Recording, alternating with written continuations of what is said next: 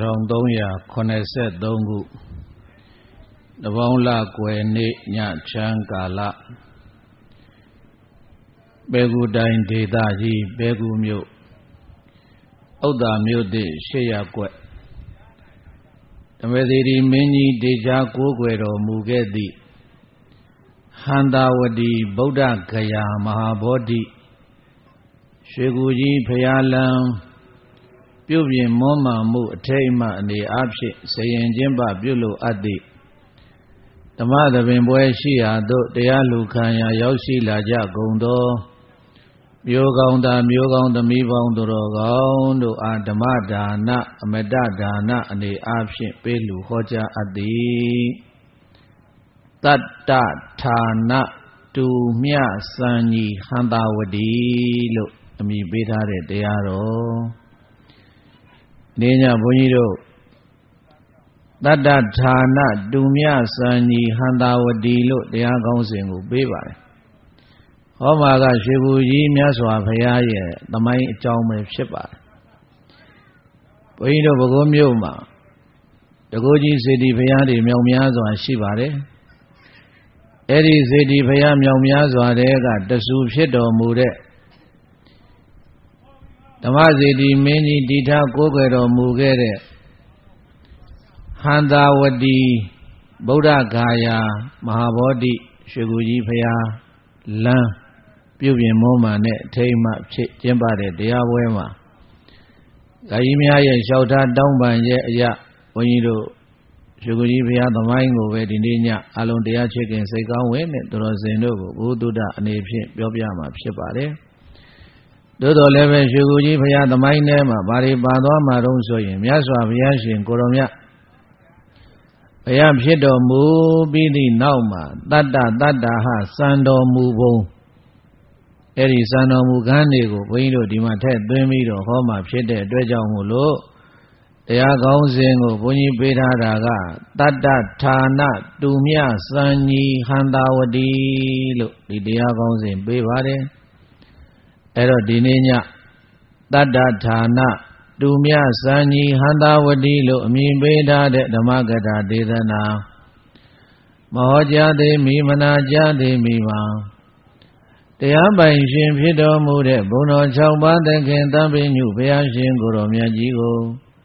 ရောသေးသောလက်ဥချီမိုးရှိခိုး၍ဓမ္မသဘင်စတင်ပွင့်ရအောင် အလုံးပရိသတ်ပေါင်းသူတော်ကောင်းတို့ကလက်ဥချီပြီးတော့ဘုရားရှင်ကိုရောမြတ်ရဲ့ဂုဏ်တွေကိုအာယုံပြုနေပါဘုန်းကြီးကဓမ္မတနပလင်ဌာနကနေပြီးတော့ဘုရားရှင်ကိုရောမြတ်အား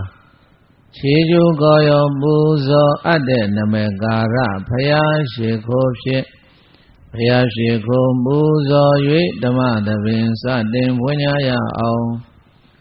ဥရေတိဒာနိလောကိညုသန္တိမာဓမ္မတိရကု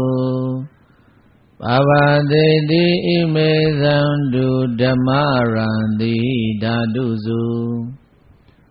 ဒါနိဣဒာနိဖယာတိဟုသောယရဏစံယုံကြောင့် တရာပံငုံတော်ဖြာဖြာစံစုံတင်း၍သွမ်းကုန်ပွင့်ရမည်ယခုကကာလသမယ၌ဓမ္မတိရကုရွှေမြအယောင်နေလာယောင်တွေတွေလာယောင်တို့ထက်ကရေကရမကအဝင်းကြည်ပ၍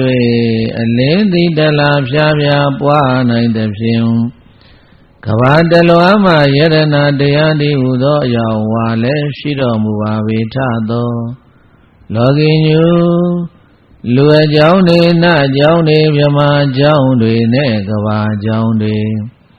ရှိရှိသမျှမိမိရာရာခဲမဲ့သည်မျက်ရှင်ဗရမလက်တင်ထားတဲ့ကဲ့သို့ အိုင်ချဝေဘံ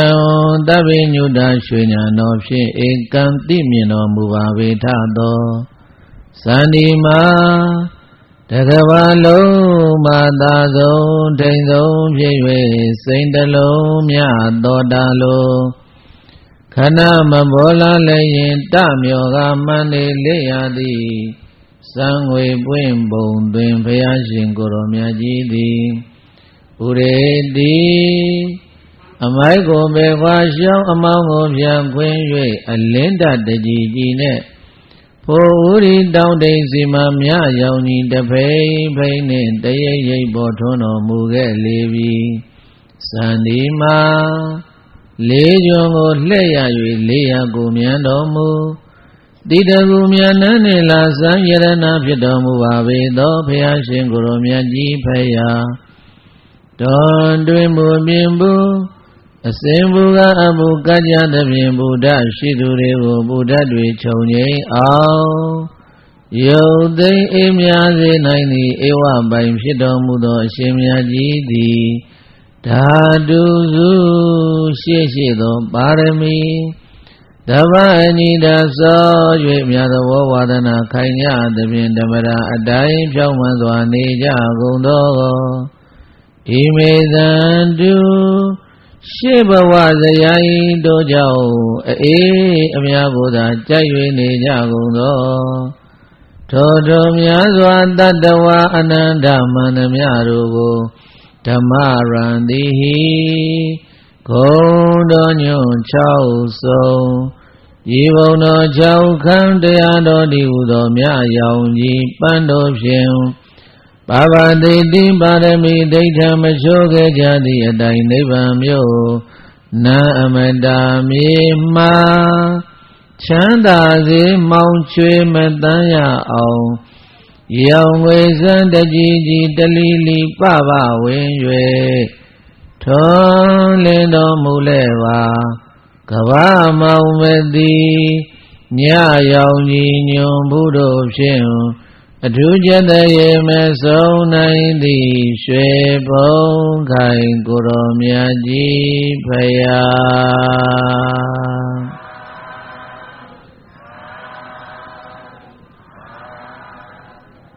မေတ္တာဖို့စပိုင်လေးတွေရွဆိုရင်းနဲ့မေတ္တာပို့လို့လိုက်ကြရအောင်အလုံးလိုက်ဆိုပါ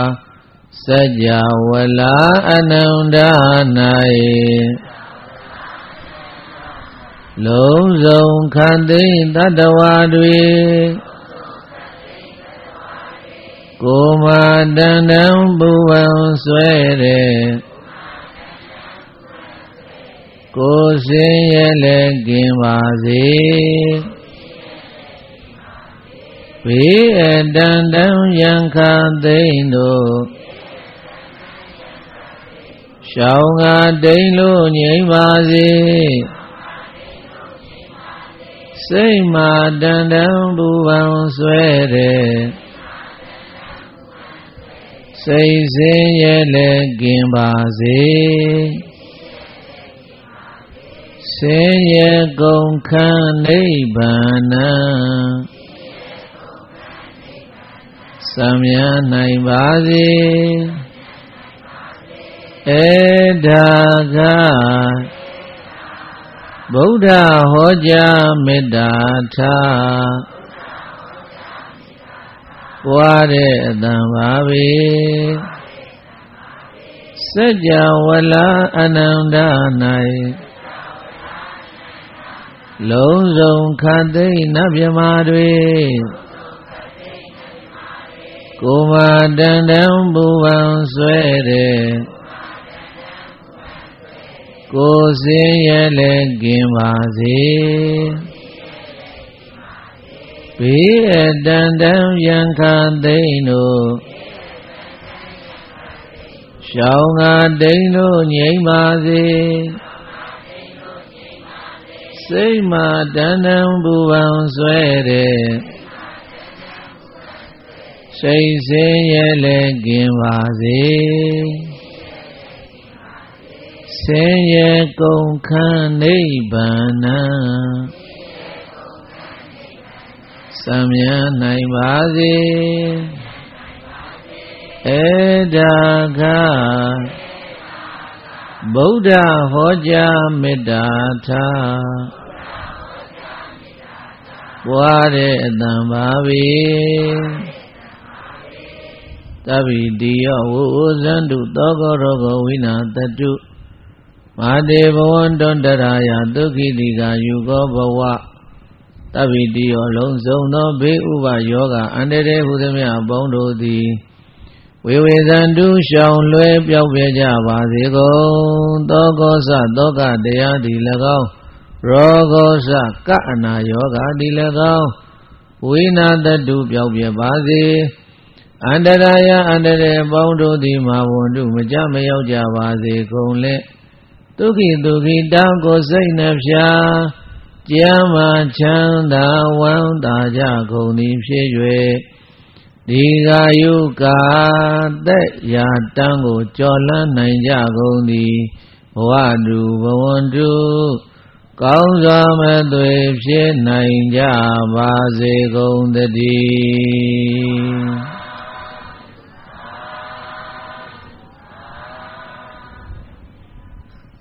မေတ္တာအာတိသမေတ္တာပဋ္ဌနာများပြုပြီးတော့ဒီနေ့ညဓမ္မသဘင်ကိုဘုန်းကြီးတို့ခုချိန်ကစတင်ပြီးတော့ဖွင့်ပါတယ်တရားဝဲကျင့်ပခြင်းရဲ့ရည်ရွယ်ချက်ကရွှေကူကြီးဖရာလန်းပြုတ်ပြင်မောမှန်မှုအတွက်ရံပုံငွေပေါ့ပေးတဲ့အဲ့ဒါရှာတဲ့အနေနဲ့ကျင့်ပတဲ့တရားဝဲဖြစ်ပါတယ်အဲ့တော့လန္ဒာနနဲ့ပတ်သက်ပြီးတော့ဘုန်းကြီးတို့ရှေ့ဥစွာပြောပါမယ်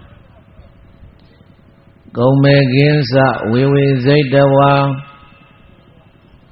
ကုံမေကင်းစဝေဝေစိတ်တဝါသုမက္ခာယန္တုပါဏိနော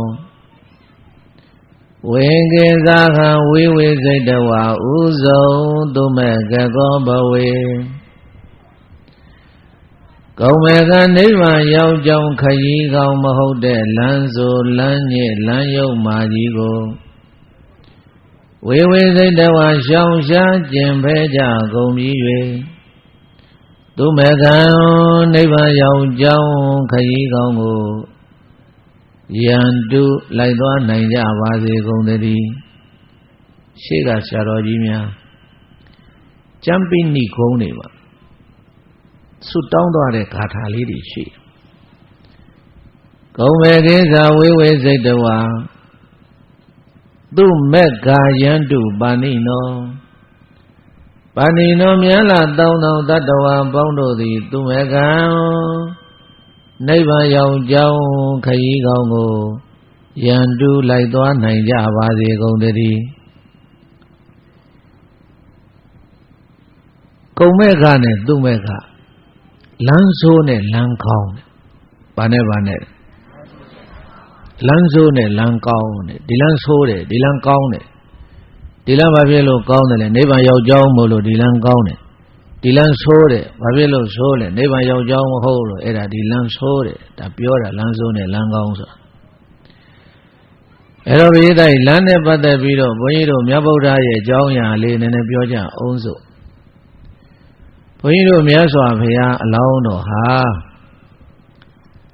ဒီပင်ကရာမြတ်စွာဘုရားခြေရင်မှာဗျာဒိတ်ခံတော်မူတယ်ဘဝကသူမိတာယသိဘာဘဝလဲသူမိတာယသိဘဝမှာဗုဒ္ဓမြတ်စွာလောင်းလျာသည်အဲ့ဒီဘဝကစပြီးတော့ဗျာဒိတ်ခံတော့လန္ဒာနာကိုတော့ဘုရားအလောင်းတော်ကြီးများတော်မှာပါရမီဖြည့်ရကာလအဦးဆုံးဘဝမှာဆောင်ရွက်တော်မူသွားတယ်ဆိုတာကိုအဲ့ဒါဘုန်းကြီးတို့ဘုရားသိစေခြင်းလို့ဘုန်းကြီးတန်လေးပြောပြတယ် ဘုရားလောင်းတော်သူမိတာရဲ့သိတောတောကြောင်တောင်ကြောင်ခိုးအောင်ဇံအဘိညာသမဘတ်တွေရာတော့ရာမဝတီမြို့တဲ့ဝင်လာရာမဝတီမြို့တဲ့ဝင်လာတော့ရာမဝတီမြို့သူမြို့သားတွေဘာလုပ်နေကြတုံးဆိုလမ်းပြင်နေရတယ်တဲ့ဘာလုပ်နေလဲရာမဝတီမြို့သူမြို့သားတွေလမ်းပြင်နေတော့ဘုရားလောင်းတော်သူမိတာရဲ့သိကမေးတယ်အဲ့ဒီလူကြီးတွေကိုအဲ့ဒီလမ်းလူကြီးတွေကိုဘာလုပ်နေကြတာတော့ဗျာလမ်းပြင်တာပေါ့ ဘာကြောင့်ထူးရှိလို့တော့မနေ့ပြင်ကဒီပင်ကရာမြတ်စွာဘုရားနဲ့တန်ခါတသိန်းဟောဒီလမ်းချောငံကြွလိမ့်မယ်အဲ့ဒါဘုရားနဲ့တန်ခါတော်များချမ်းသာစွာသွားဖို့လို့အဲ့ဒါတို့စုပေါင်းပြီးတော့လမ်းပြနေတယ်ဆိုတော့အဲ့ဒါဘုရားလောင်းတော့သူမိရာရသေးကသူလည်းအဲ့ဒီလမ်းကုသိုလ်သူလည်းယူခြင်းတယ် ဟာဒါကြုံတော့ကြုံငယ်ကုသိုလ်ပွဲကြီးပဲဘုရားနဲ့တကွသံဃာတွေကြွမယ်လမ်းပဲအဲ့တော့ငါလည်းကုသိုလ်ဝင်ရအောင်ပါပဲဆိုပြီးတော့အဲ့ဒီလမ်းလူကြီးတွေရှိမှသူလည်းတောင်းတယ်ကျွန်တော်လည်းကုသိုလ်လုပ်ရစေဒီလမ်းနဲ့ပါဝင်ပြီးတော့ဆိုတော့ဘိယသားရေအဲ့ဒီမှာလမ်းလူကြီးတွေတိုင်ပင်ကြတယ်။ဘာတိုင်ပင်တော့ဆိုတော့ဒီယသိဟာတကိုးရှိတယ်။တကိုးရှိတဲ့ယသိဖြစ်လို့တကိုးနဲ့ဆိုရင်ခဏလေးပြီးမှဒီလမ်းက အဲ့အဲ့ဒီလူကြီးတွေအဲ့ဒီလမ်းပြင်တဲ့လူတွေအဲ့ဒီရာမဝတီမြို့သူမြို့သားတွေအခက်တွေ့နေတာတခုရှိတယ်ဘိယသားရေအလွန်ရွှွညွန်ထူတော့ဝက်အိုင်ကြီးတစ်ခုအဲ့ဒီဘွဲ့အညူကိုကြည့်ပြီးတော့လမ်းလူကြီးတွေစိတ်ညစ်နေကြတယ်ဒီဘွဲ့အကြီးမနေ့ကဘယ်လိုပြီးမလဲမပြီးနိုင်အဲ့ဒီအချိန်မှာပဲလမ်းလူကြီးတွေပဲကံကောင်းတာလားမသိဘူးအဲ့ဒါ ဘုရားလောင်းတော်သုံးမေတာရသေးကရောက်လာတဲ့အခါကျတော့လမ်းလူကြီးတွေဘယ်လိုလှုပ်လိုက်တုံးဆိုတော့ကိုင်းတို့မပြီးနိုင်တဲ့နေရာကိုတကိုးရှင်ကိုပေးလိုက်ရင်တော့တကိုးရှင်ကတကိုးနဲ့ဖန်ဆင်းလိုက်ရင်ခဏလေးဒီလမ်းပြီးသွားပဲအဲ့တော့တို့မပြီးနိုင်တဲ့နေရာကြီးသူပေးကြစို့အဲ့ဒါတိုင်ပင်ပြီးတော့ဘိယတာကြီးဘာလို့တည်းလူကြီးတွေညစ်တာတော့မဟုတ်ဘူးအမှန်မှန်ကတော့မြန်မြန်ပြီးအောင်လို့ဆိုပြီးတော့ အဲ့ဒါဘုန်းကြီးတို့ဘုရားလောင်းတော်သူမိတာရသေးကိုအဲ့ဒီဘွဲ့အင်ကြီးညွန်ပြတယ်အဲဒီလမ်းပြင်ပြင်ပြဒီနေရာတော့အလွန်လမ်းဆိုးလို့ရဟာဟုတ်ကဲ့ပြင်ပါမယ်ဆိုပြီးတော့ဘုရားလောင်းတော်သူမိတာရသေးဘာလို့တုံးဘိယတာကြီးတကိုးရှိတာပဲတကိုးနဲ့ဟပြီးစီဆိုပြီးသွားလို့ရတာပဲမသုံးပါဘူးတကိုးလုံးဝမသုံးအဲ့ဒီမှာတောင်းတဲ့ပေါတူးနဲ့တောင်းတဲ့ကျုပ်ပေါတူးနဲ့တောင်းတဲ့ပေးပါဗျာဆိုတော့ပေးလိုက် ပေးလိုက်တော့အဲ့ဒီတောင်းတဲ့ပေါတူးနဲ့ယူပြီးဘာလုပ်တယ်လဲဟိုးမြေကြီးတွေပေါက်တောင်းတဲ့ထက်ထမ်းအဲ့ဒီဘွဲအကြီးတဲ့သွားပုတ်ချလိုက်တယ်မြင်အောင်မမြင်အောင်ဘွက်ထဲနဲ့သွားတာနောက်တစ်ထောင်သွားတူးထက်ပေါက်ထက်ပို့ချလိုက်တယ်မြင်အောင်မမြင်အောင်ဘွက်အိမ်နဲ့ဆင်းသွားတာအဲ့ဒီလိုနဲ့မနေ့စောငံချိန်တဲကနေဖိုးလိုက်တဲ့အဖိုးဟာရေးတဲ့ညနေ6နာရီ9နာရီရှိပြီအဲ့ဒီဘွားအင်ကြီးမပြီးသေးဘူးတဲ့ အဲ့တော့လမ်းပြင်နေတဲ့ရမဝတီမြို့စုမြို့သားနဲ့လမ်းလူကြီးတွေလည်းပြန်ကုန်ပြီသူတို့ပြင်တဲ့လမ်းပြီးပြီလေအဲ့တော့ဘုန်းကြီးတို့ဘုရားလောင်းတော်တောင်ယူထားတဲ့လမ်းကတာသူ့တောင်ဝန်သူ့ကိစ္စပဲဆိုတော့အကုန်လုံးပြန်သွားတော့အလောင်းတော်မြတ်တပါးတဲ့အဲ့ဒါမလုပ်တယ်လေပေါက်ပြီးတော့ဖို့နေတာ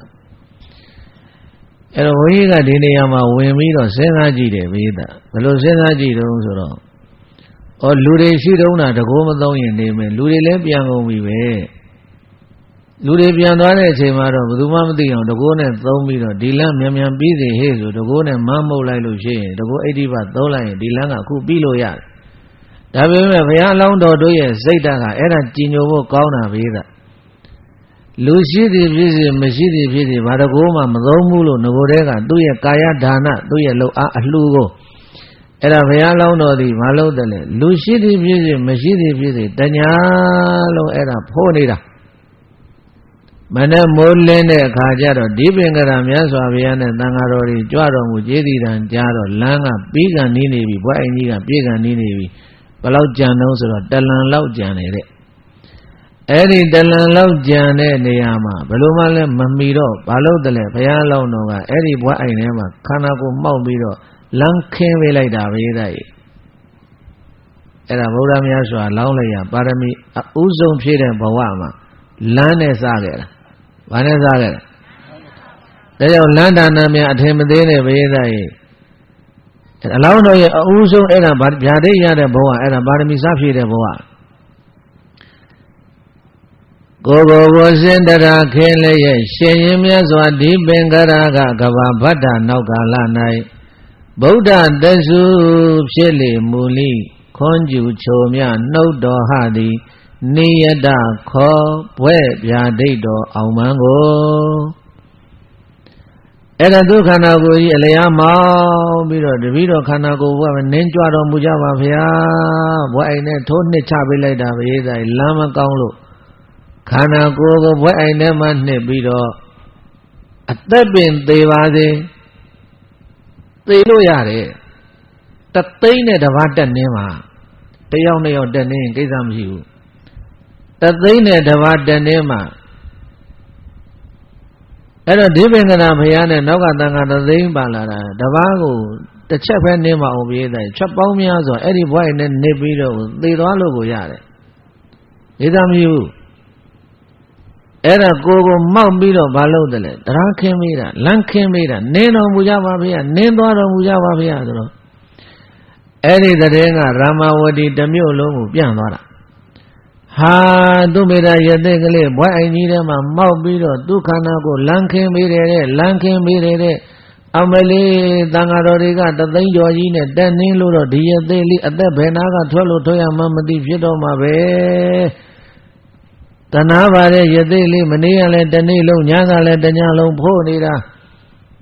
အမလေးဘယ်လိုများဖြစ်တယ်လဲမသိဘူးယသိကလေးသေများသေပြီလားမသိဘူးကိုတော်တွေကအဟုတ်ပဲတက်နေတော့မှလားမသိဘူးနဲ့ဆိုပြီးတော့ဘုရားသား အဲ့ဒီရမဝတီတမျိုးလုံးအောက်အော်တောင်းနေဖြစ်ပြီးတော့အဲ့ဒီအဲ့ဒီလမ်းခင်းတဲ့နေရာကိုရမဝတီမြို့သူမြို့သားတွေစုယုံစုယုံနဲ့ရောက်လာတဲ့ထဲမှာအမျိုးသမီးလေးတယောက်ပါလာတဲ့သူ့နာမည်ကသူမိတ်တာတဲ့ဘယ်သူတဲ့လဲလက်ထဲမှာဘရေတိုင်ဂျပန်ရှစ်ပွင့်ပါလာတာဂျပန်ဘယ်နှပွင့်အဲ့ဒီဂျပန်ရှစ်ပွင့်ကစောစောတုန်းကတော့လေဒီပင်ကရာဘုရားကိုလှူဖို့လို့ဆိုသူယူလာတာ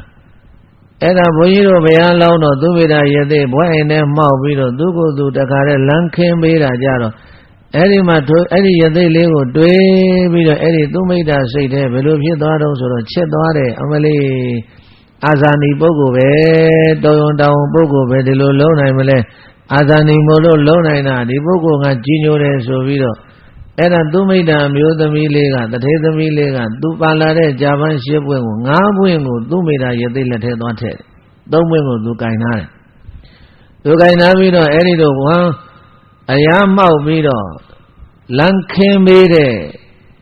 သူမိတ်တာရသိကိုဒီပင်ကရာဘုရားကဘာလဲဗျာဒိတ်ပေးတာအဲ့ဒီမှာဗဒ္ဒကဘာကြီးမှာလေးစုမြောက်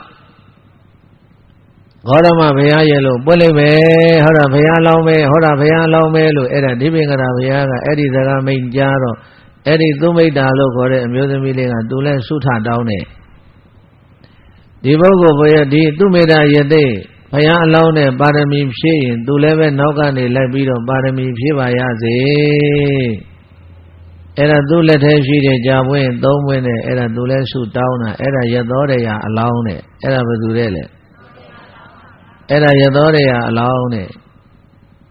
အဲ့တော့တော်ပါပြီဒါဘုန်းကြီးတို့ဘိသတ်တွေကိုဖရာတွေဘာတွေရောက်တဲ့အခါမှာလဲတွေ့လိမ့်မယ်ဘေးနားမှာတောင်းလေးနဲ့ပေါတူလေးနဲ့ချပြီးတော့တောက်ချကြီးနဲ့ရသေးကြီးမှောက်နေတာမလုံးနေတာတော့ဆိုအဲ့ဒါလမ်းခင်းပေးတာပဲအဲ့တော့ဘုန်းကြီးတို့လန္ဒာနာဟာဂုံမေကိသာဝေဝေစိတ်တဝါသုမေကယန္တုပါဏိနောဝေကိသာငဝေဝေစိတ်တဝါဥဆုံးသုမေကကောဘဝေ ဘုရားလောင်းတော်ပါရမီစတင်ဖြည့်တော်မူရာကာလသူ့မိတာယသိဘဝကဘေသတ္တေလမ်းခင်းပြီးတော့ပါရမီဖြည့်ခဲ့တာဘုရားဘဝကိုစတာအလောင်းတော်ဘဝကိုစတာလမ်းခင်းပြီးစခဲ့တာဘာခင်းပြီးစခဲ့တာဒါကြောင့်လန္ဒာနာများအထင်မသေးနဲ့ဘေသရဲ့လောင်းတော်များဖြစ်ကျင့်တော်မူတဲ့အဲ့ဒါကုသိုလ်ကောင်းမှုပဲကောင်းပြီ အဲဒီကနေပြီးတော့ဘုရားရှင်ကိုရမြဘုရားဖြစ်တော်မူတော့ဘေးတိုင်မိဂရာဝန်တော်ရောက်တို့လိုပြောစို့အဲ့ဒါမိဂရာဝန်တော်ရောက်တော့အဲ့ဒီမိဂရာဝန်တော်မှာလည်းပဲမြတ်ဗုဒ္ဓသည်ဘာလို့တော့မဲခင်ရှစ်ဖြာလန်းတာရတဲ့ဗါတယ်လည်းပြောအဲ့ဒါတန်တရာတိဟုသောဒီမှာပဲကမ်းမှာနိဗ္ဗာန်တိဟုသောဟိုမှာပဲကမ်းကိုကူးကျင်တဲ့ပုဂ္ဂိုလ်များတဲ့ဗုဒ္ဓမြတ်စွာသည်ဘာလို့လိုက်တော့ဆိုရင် မဲခင်၈ပါးကိုဟောတာဘာဟောတာလဲမဲခင်၈ပါးသည်နိဗ္ဗာန်သွားဖို့လမ်းမဲခင်၈ပါးသည်ဘယ်သွားဖို့လမ်းလဲဒါဖြင့်မိဂရာဝန်တော်မှာဟောတဲ့ဓမ္မစကြာဆိုတာလည်းပဲနိဗ္ဗာန်လမ်းပြတဲ့တရားပဲဘာလမ်းပြတဲ့တရားလဲအဲ့ဒီမဲခင်၈ပါးထဲမှာသမာဓိဋ္ဌိသမာသင်္ကပ္ပသမာဝါစာသမာကမ္မနောသမာအာဇီဝသမာဝါယမောသမာတတိသမာသမာဓိ တွေမေဘိခွေအန္တာပပစီတေနနာသေဝိတဗကတမေတွေရောစာယံကြားဘူးတယ်မို့လားဓမ္မစကြာရွတ်တာကြားဘူးတယ်မို့လားအဲအဲ့ဒါပြီးသားအဲ့ဒီမဂ္ဂင်၈ပါးဆိုတာအဲ့ဒါရှောက်ရမယ်လမ်းပဲမဂ္ဂင်၈ပါးဟာဗါတဲ့တော့ရှောက်ရမယ်လမ်းဒါကြောင့်မြတ်ဗုဒ္ဓသည်ဘုရားဖြစ်တော်မူတော့လည်းပဲအဦးဆုံးဟောတဲ့တရားကမဂ္ဂင်၈ပါး ဓမ္မစကြာတရားဆိုတာအဲ့ဒါနိဗ္ဗာန်ကိုလမ်းပြတာဘာကိုလမ်းပြတာအေးဒါကြောင့်မို့လို့ဘုရားရှင်ကိုရောမြပြတော်မူတဲ့မဂ်ခင်လမ်းကြောင်းကသူမကကောင်းသောလမ်းနဲ့ဗလမ်းနဲ့လဲကောင်းသောလမ်းနဲ့ဘေးသတ္တေအဲ့ဒီကောင်းသောလမ်းပေါ်ကနေပြီးတော့ရှောင်သွားတဲ့ပုဂ္ဂိုလ်တွေကနိဗ္ဗာန်ကိုဝင်သွားတယ်တဲ့။ဒါကြောင့်ဒီနေ့ညရွှေကူကြီးဖရာလမ်း မောမှန်တဲ့ခန္ဓာဒီဓမ္မသဘင်တရားဝဲမှာလဲဘုန်းကြီးတို့ကရွှေပိုင်းဓာလေးပေါ်7မိနစ်ခန့်မြပြောပါတယ်။ဩလန္ဒနာကုသိုလ်ဆိုတာတာမန်ကုသိုလ်မမနဲ့တရားအလောင်းတော်များတော်မှာဒီပင်္ဂရာယသိဘဝကပါရမီဖြည့်တော်ဒီပင်္ဂရာဘုရားထံမှာသူမေတ္တာယသိဘဝကပါရမီစပြီးတော့ဘုရားစုပန်တဲ့အခါမှာကိုကိုဝတ်ဆင်လမ်းဖြစ်ခင်ပြီးတော့အဲ့ဒါဘုရားဗျာဒိတ်စုတောင်းတော်မူခဲ့ပါတယ် ကိုရောမြတ်ဘုရားဘုရားဖြစ်တော်မူသောလဲပဲပရိသတ်တွေမဂ္ဂင်ရှိပြလမ်းတာယာလို့ခေါ်တဲ့အဲ့ဒါလမ်းမတော်ကြီးပြပြီးတော့ဘုရားရှင်ကိုရောမြတ်ဒီနိဗ္ဗာန်ကိုကဲပို့တော်မူခဲ့ပါတယ်လန္ဒာနာအလူကိုအထင်မသေးနဲ့ဘာဒါနာအလူလည်းဒါကြောင့်မို့လို့မက်ကင်ခေါ်လံမတော်ကြီးမှာခရီးနေရအောင် မောင်တို့လဲလိုက်ရအောင် မေတို့လဲလိုက်ရအောင် အထုပ်ကိုစီကင်ငါဆောင်မက်ကင်ခေါ်လမ်းမတော်ကြီးမှာခရီးနေရအောင်မက်ကင်ရှစ်ဖြာလမ်းตาရတဲ့ဗါတဲ့လေအေမက်ကင်ရှစ်ဖြာလမ်းตาရဟောဒီနေ့ဖြူကိုကြီးဖရာလမ်းတာတာယာယာဖြစ်အောင်ဝိုင်းဝန်းပြီးတော့အလုံးပေါ့ တတ်နိုင်တဲ့ပုဂ္ဂိုလ်တွေရောမတတ်နိုင်တဲ့ပုဂ္ဂိုလ်တွေကိုစုပေါင်းပြီးတော့ငွေအားတတ်နိုင်လဲငွေအားနဲ့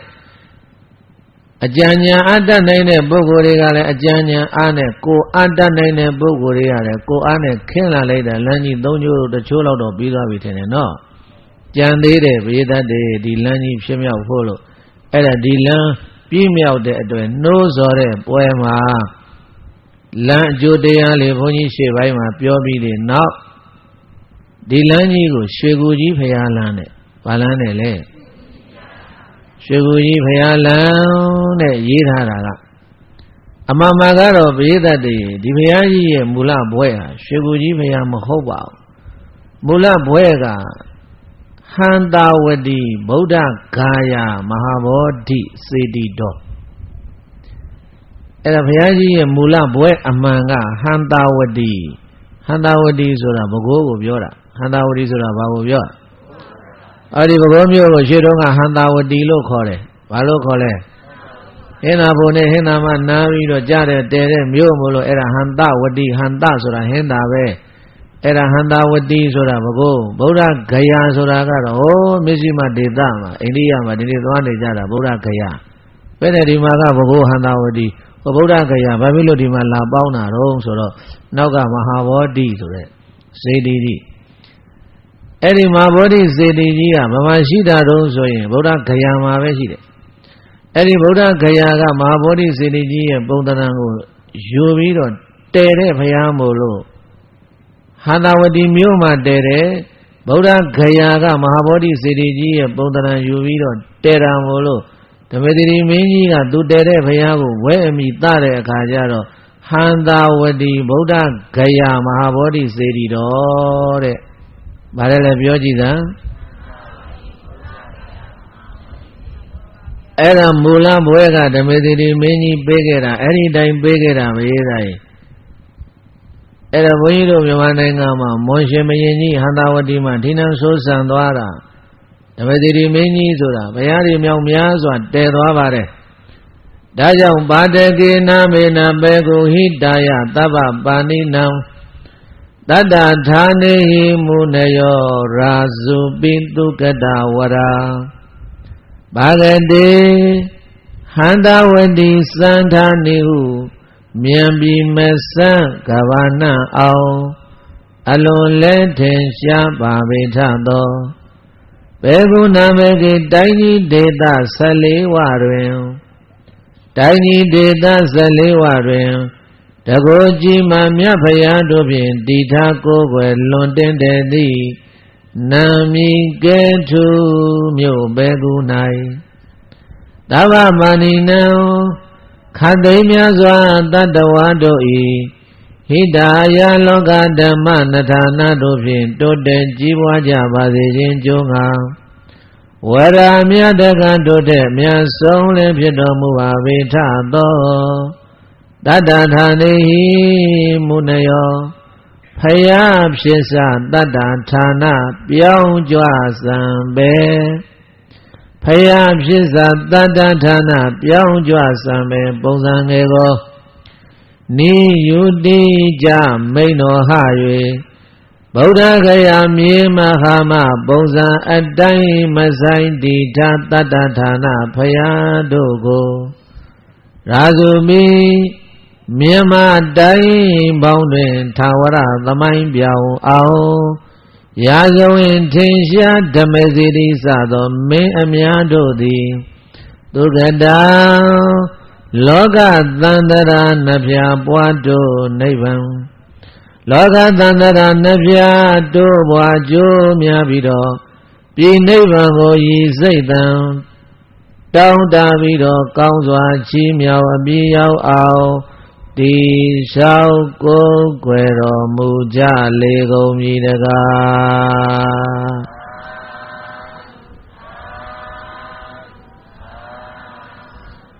ဧသယေဒါလေးလိုက်ဆိုကြည်စားမှာတတ္တဌာန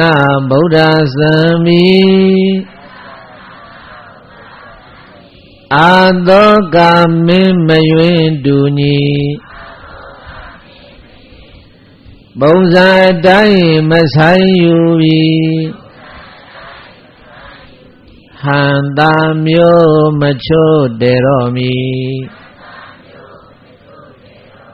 တတ္တဌာနဗုဒ္ဓသံမီ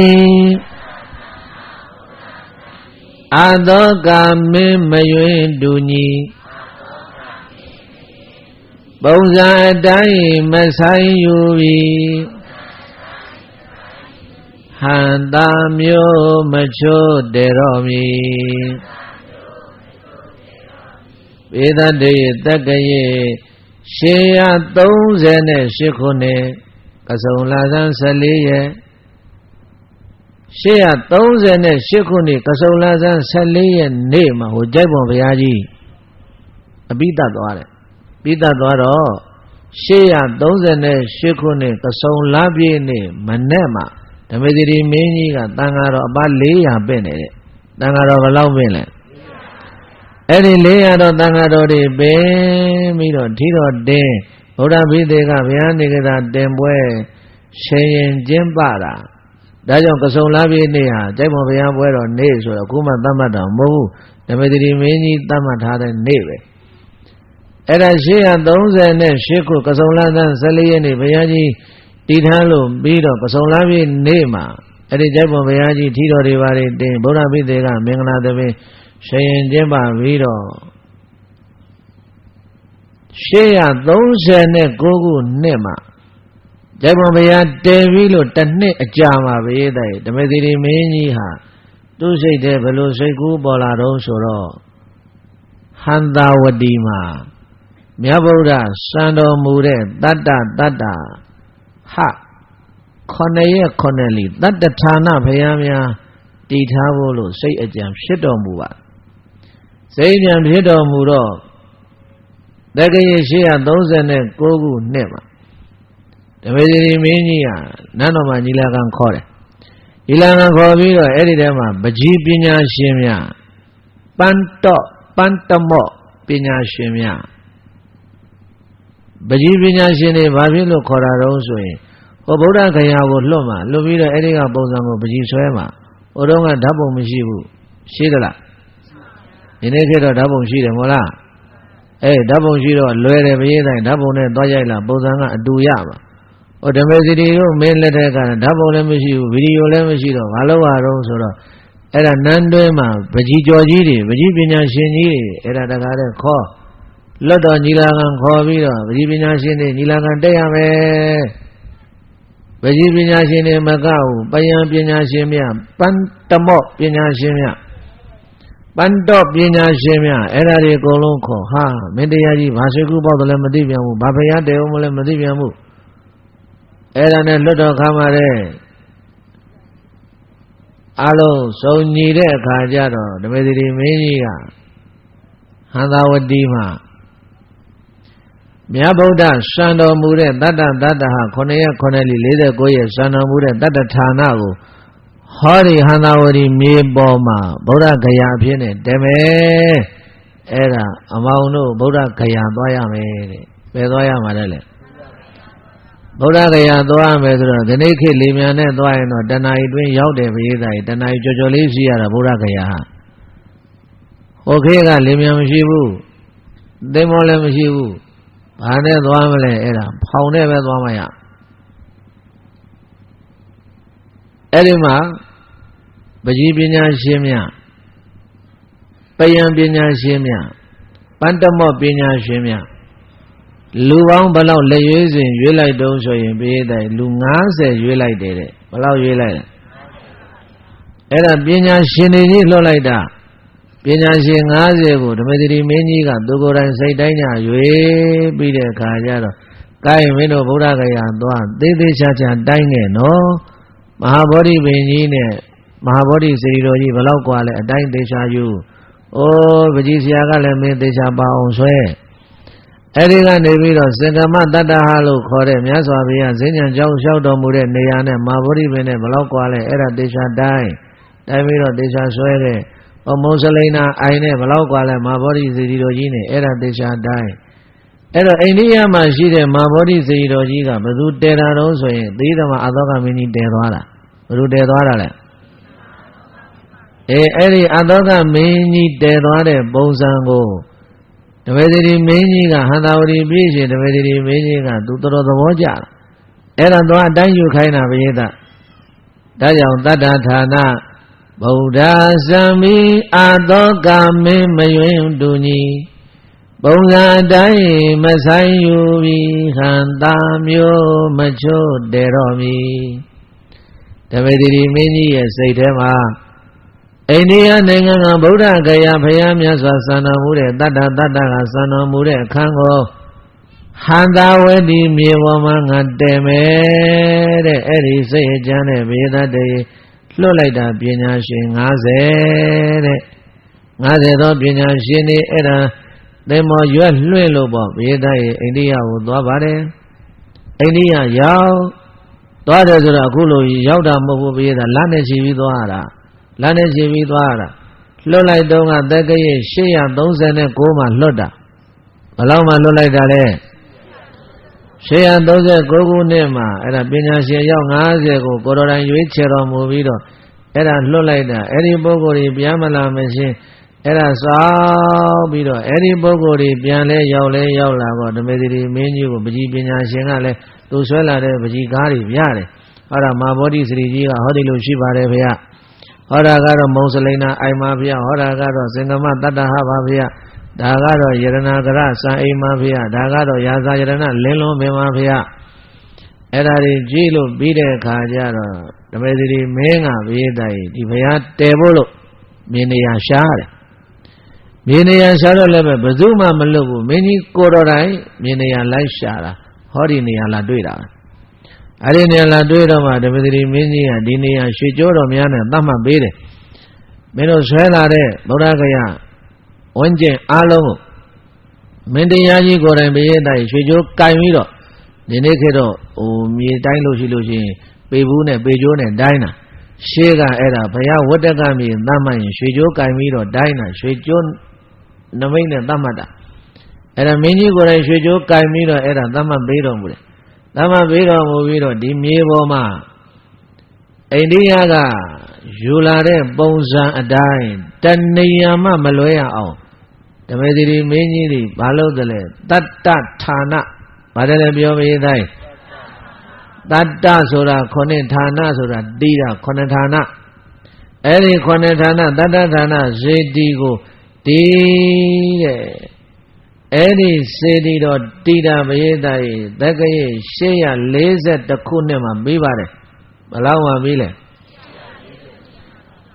အဲ့တော့839မှာအိန္ဒိယကိုလွတ်တဲ့အဲ့ဒီအိန္ဒိယအသွားပြန်တဲ့6လလောက်ကြာမယ်ထင်တယ်ပေါ့ဘယ်လောက်ကြာတယ်တော့သမိုင်းထဲမှာပြောဘူးအဲ့တော့မှန်းကြည့်ရတော့ပေါ့သွား3လပြန်3လဟိုမှာနေတာထိုင်နေတဲ့6လထတစ်နှစ်ဝက်ကုန်သွားပြီအဲ့တော့839မှာလွတ်တယ်ရှေ့ရ40ရှေ့ရ41ဟိုမှာပုံစံသွားယူတာနဲ့ဒီမှာဘုရားပြန်တယ်တာနဲ့တက္ကရာ840ခုနှစ်မှာ အဲ့ဒါဗုဒ္ဓစံတော်မူတဲ့တတ္တဌာနပုံစံတော်အတိုင်းဟောဒီမှာတည်လို့ပြီးပါတယ်တဲ့ကဲပရိသတ်ရဲ့အဲ့ဒါလေးလိုက်ဆိုကြည်သားမှာရှင်လေးတဲ့နဲ့ရောက်လေချိန်ခါတတ္တဌာနဗုဒ္ဓဆံယာမြမမြေမှာဗုဒ္ဓဂယာ ပုံစံတိုင်းမဆိုင်ပေါ်ထွက်လာရှေလေးတစ်နှစ်ရောက်လေချိန်ခါတတ္တဌာနဗုဒ္ဓဆံယာ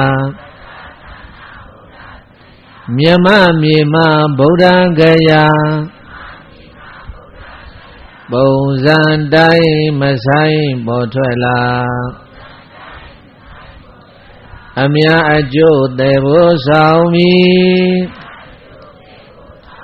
မင်းမြတ်ခေါ်ရဓမ္မစေတီကိုယ်တိုင်တည်ထားဖရာစေတီဘကိုးသာမောကြွားနိုင်ခဲ့ပြီအမြအကျိုးသေဖို့ဆောင်ပြီမင်း မြတ်ခေါ်ရဓမ္မစေတီကိုယ်တိုင်တည်ထားဖရာစေတီ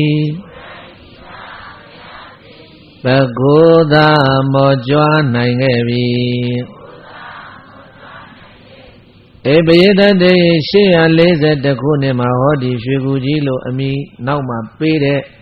တပည့်တိမင်းကြီးမူလပေးတော်မူခဲ့တဲ့ဟန္တာဝတိဗုဒ္ဓဂယာ မဟာဘောဓိတတ္တဌာနစေတီတော်ကြီးက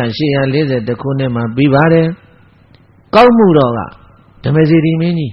ဘယ်သူတည်သွားတာလဲအေဓမ္မစီတိမင်းကြီးမဟာဘောဓိစေတီတော်တဲ့ဟန္တာဝတိဗုဒ္ဓဂယာမဟာဘောဓိစေတီတော်တဲ့ကိုယ်တော်တိုင်ဘွယ်မြည်တလို့ရွှေခရကင်လို့ဟောဒီစေတီတော်ကြီး840ခုနှစ်မှာဗုဒ္ဓဘိသေက အခမ်းအနားကြကြနာနာကျင်းပပြီးတော့သူ့စေတီတော်ကြီးကိုလည်းပဲ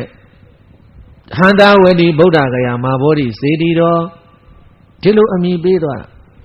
အဲ့ဒီစေတီတော်ကြီးရဲ့တက်တန်းဟာပြည့်တဲ့နှစ်ပေါင်း900ကျော်သွားပြီဘယ်လောက်ကျော်သွားပြီလဲအဲ့တော့တန်လွန်မင်းတရားလက်ထက်တို့တို့ပြောလိုက်ကြဆိုဘုရားသားဘုရင်တတ္တခဏဟောမလို့တန်လွန်မင်းတရားလက်ထက်ရောက်တဲ့အခါကျတော့ ဟန္တာဝတိဆိုတဲ့ဇလုံးကိုဖြုတ်တယ်ဗုဒ္ဓဂယာဆိုတဲ့ဇလုံးကိုဖြုတ်တယ်ဖြုတ်ပြီးတော့တန်လွန်မင်းကြီးကတော့ဒီစေတီကြီးကိုမဟာဘောဓိစေတီတဲ့အဲတန်လွန်မင်းတရားလက်ထက်မှာဟန္တာဝတိဆိုတဲ့ဇလုံးပြောက်သွားတယ်ဗုဒ္ဓဂယာဆိုတဲ့ဇလုံးပြောက်သွားတယ်မဟာဘောဓိစေတီတော်ကြီးတဲ့တန်လွန်မင်းကဘယ်လိုခေါ်မဟာဗောဓိစေတီတော်ကြီးတဲ့အဲ့ဒါတန်လွန်မင်းလက်ထက်မှာဘွဲတော်အမိတစ်ခုပြောင်းသွားတယ် နောက်ဘုန်းကြီးတို့အလောင်းမင်းတရားကြီးဥအောင်စေရလက်ထက်ဘယ်သူလက်ထက်လဲဥအောင်စေရဆိုတာကြားဘူးလားဘမနေတာလဲမသိဘူးကြားတော့ကြားဘူးတဲ့ဘယ်နေမှလည်းမသိဥအောင်စေရရွှေဘုံမှာဘမလည်းမရေးတယ်ရန်ကြီးအောင်ကုန်းမောင်ခပါလို့ငါမိရပြီးရွှေကိုဘေးရန်ကပြိုးရဘူးတယ်မဟုတ်လားဘယ်သူဆိုတာလဲမသိဘူးဘုန်းကြီးဆိုတာလဲ ဟုတ်လားအဲ့ဒါဘယေသတေယရဏသိင်္ခလို့ခေါ်တဲ့နန္တော်ကြီးဒီအလောင်းမင်းတရားကြီးဥအောင်စေရတဲ့အလောင်းမင်းတရားတဲ့ဗါတဲ့လေဘယေသရဲ့အေးအလောင်းမင်းတရားတဲ့အဲ့ဒါလေးနည်းနည်းပြောကြအောင်ဆိုတရားရှည်လေးရှည်မတတ်နိုင်ဘူးဒီပြင်ရှင်မင်းနေရှေ့မှာအဲ့ဒီလိုမပါဘူးသူကြမှာပဲနဲ့အလောင်းမင်းတရားအလောင်းမင်းတရားနဲ့ဆိုတော့ဘာအလောင်းလုံးသို့ဥစ္စာဆိုတော့ဘာမှလည်းမသိဘူးအလောင်းမင်းတရားဥအောင်စေရတယ် နောက်ဘုန်းကြီးတို့ကျောင်းနေမှာလဲဗာလဲလောင်းခရတဲ့ကြားဘူးတယ်မဟုတ်လားဗန္ဓုလတဲ့ဘယင်းအောင်တဲ့ကျန်စေသားတဲ့အသိနေမရှိဘူးလားစာသင်ကျောင်းတွေမှာမရှိဘူးလားပြောငြိမ့်မနေတဲ့ပြောဟဲ့နောက်ကပိဋကကြီးအများကြီးမျက်စိတဆုံးပဲဘာတွေနားဘာတွေငြိမ့်ပြီးအောင်ကြတယ်သူတို့အဲ့ဒါအလောင်းဝင်းတရားဥအောင်စေရတယ်ဟောတို့ကျောင်းအသင်းတွေမှာလည်းပဲပါတယ်ကျန်စေသားတဲ့ဘယင်းအောင်တဲ့အလောင်းဖရားတဲ့များဘူးလား ပြစင်သားဆိုတာလည်းသိတယ်ဘရင်အောင်လည်းသိတယ်ဗန္ဓုလလည်းသိတယ်ဒီအလောင်းဖရာဆိုတာခေါ်ရတဲ့ကြီးကသူ့ဟာတမျိုးကြီးအလောင်းဖရာဆိုတော့ဘယ်လိုလဲမသိဘူးအခုတော့အလောင်းမင်းတရားကြီးဥအောင်စေရတယ်ဆိုတော့ဒီအလောင်းဆိုတာဖရာအလောင်းဘာလဲပရိသတ်စိတ်ဓာတ်သိကောင်းတာတဲ့ဘုရားလောင်းတို့စိတ်ဓာတ်မျိုးရှိတယ်ဘုရားလောင်းရဲ့စိတ်ဟာဘာလို့ဆိုပရဟိတစိတ်ဘုရားလောင်းစိတ်ဟာဘာစိတ်လဲ အဲဘုန်းကြီးတို့ရောစတော်ဘုရားကြီးစီရတဲ့လင်္ကာလေးရှိသားပဲပရဟိတမြတ်ဗုဒ္ဓထူလာအာဇာနီဆိုတဲ့အတိုင်းဘုရားအလောင်းတော်ဟာဘယ်ဘဝကိုရောက်ရောက်ပရဟိတကြိုးပဲဆောင်ရွက်တယ်ကုံပြောမယ်ဘေးတိုင်းတလိ္ဆံဘဝရောက်တာတော့မှပရဟိတကြိုးပဲဆောင်ရွက်သွားတာလူဘဝတော့ထဲထွက်မနေနဲ့တော့ဒီပြင်ဘဝတွေတလိ္ဆံဘဝရောက်တာတော့မှဘုရားလောင်းတော်စီအများကျိုးပဲဆောင်သွားတယ်။ဘာကျိုးဆောင်လဲ။ဩမဟာကပိဇတ်တော်ဆိုတာမြောင်မင်းကြီးဘဝတုန်းကကြီးလိုက်စမ်းပါ။ ဘုရားလောင်းတော်မြောင်မင်းဟိုပုံနာကြောက်ထဲကြနေတာဘုရားလောင်းတော်မြောင်မင်းမတွေ့ဘူးလား။တွေ့တော့ဆင်းမကြယ်ဘူးလား။ဆင်းကြယ်ပြီးတော့မောတဲ့အခါကျတော့အဲ့ဒီတစ်ပင်ရင်မှာပုံနာရဲ့တဲ့နင့်ကောင်ကဆင်းကြယ်ရတော့မောနေပြီအဲ့တော့နင့်ပေါင်ပေါင်ကခန္ဓာလေးအမောပြီအိပ်ပရစေ။တို့ဘုရားလောင်းတော်ကအဲ့ဒီပုံနာရဲ့ပေါင်ပေါင်ခေါင်းအောင်ပြီးတော့အိပ်နေတာ။အဲ့ဒါဒေဝရမိုက်ပုံနာကဘာလို့သလဲပြန်သွားလို့ရှိရင်မိမမျက်နှာလှုပ်ဖို့လို့ဆိုပြီးတော့ဒီမြောက်သားထုပြီးတော့အိမ်ကြရင်မိမကိုမြောက်သားဟင်းချက်ကျွေးမှာ အဲ့ဒါဘုရားလောင်းတော်အိပ်ပျော်နေတော့ဘုရားသားဘာလဲအနားမှာရှိတဲ့ကြောက်ခဲနဲ့အလောင်းတော်ကောင်းထုတာတို့တော့အလောင်းတော်လန့်နိုးပြီးတော့တစ်ပင်ပေါ်တက်ပြေးတာဘယ်တက်ပြေးတာလဲတစ်ပင်ပေါ်တက်ပြေးတော့အောက်ကဒေဝရမိုက်ပုံနာကဘုရားလောင်းတော်ကိုပြောတယ်မြဝင်းကြီးရဲ့တဲ့တောထဲတော့ဝင်မသွားပါနဲ့တဲ့ဘာဖြစ်လို့တော့ငါဒီတောထဲမှာမျက်စိလဲပြီးကြောက်ထဲကြနေတာငါမပြန်တတ်ဘူးတဲ့ငါလမ်းပြပေးတဲ့ဒီစမ်းသူ့ဘာပြပေးရမှာလဲလေ ဒီစမ်းသူ့လမ်းပြပေးတယ်သူ့ကြောက်ထဲရလဲကဲတင်ရသေးတယ်ကျေးဇူးရှင်ကိုကျေးဇူးတာပရိသတ်အဲ့ဒါဘုရားလောင်းတော်ထိတ်ကိုဘာလို့လဲခဲနဲ့ထုတာကြောက်ခဲနဲ့ထုတာအဲ့ဒါခေါင်းကွဲတော့သစ်ပင်ပေါ်တက်ပြေးတာဘုရားလောင်းတော်ကအဲ့ဒါငါပြစ်မထားပါနဲ့ကွယ်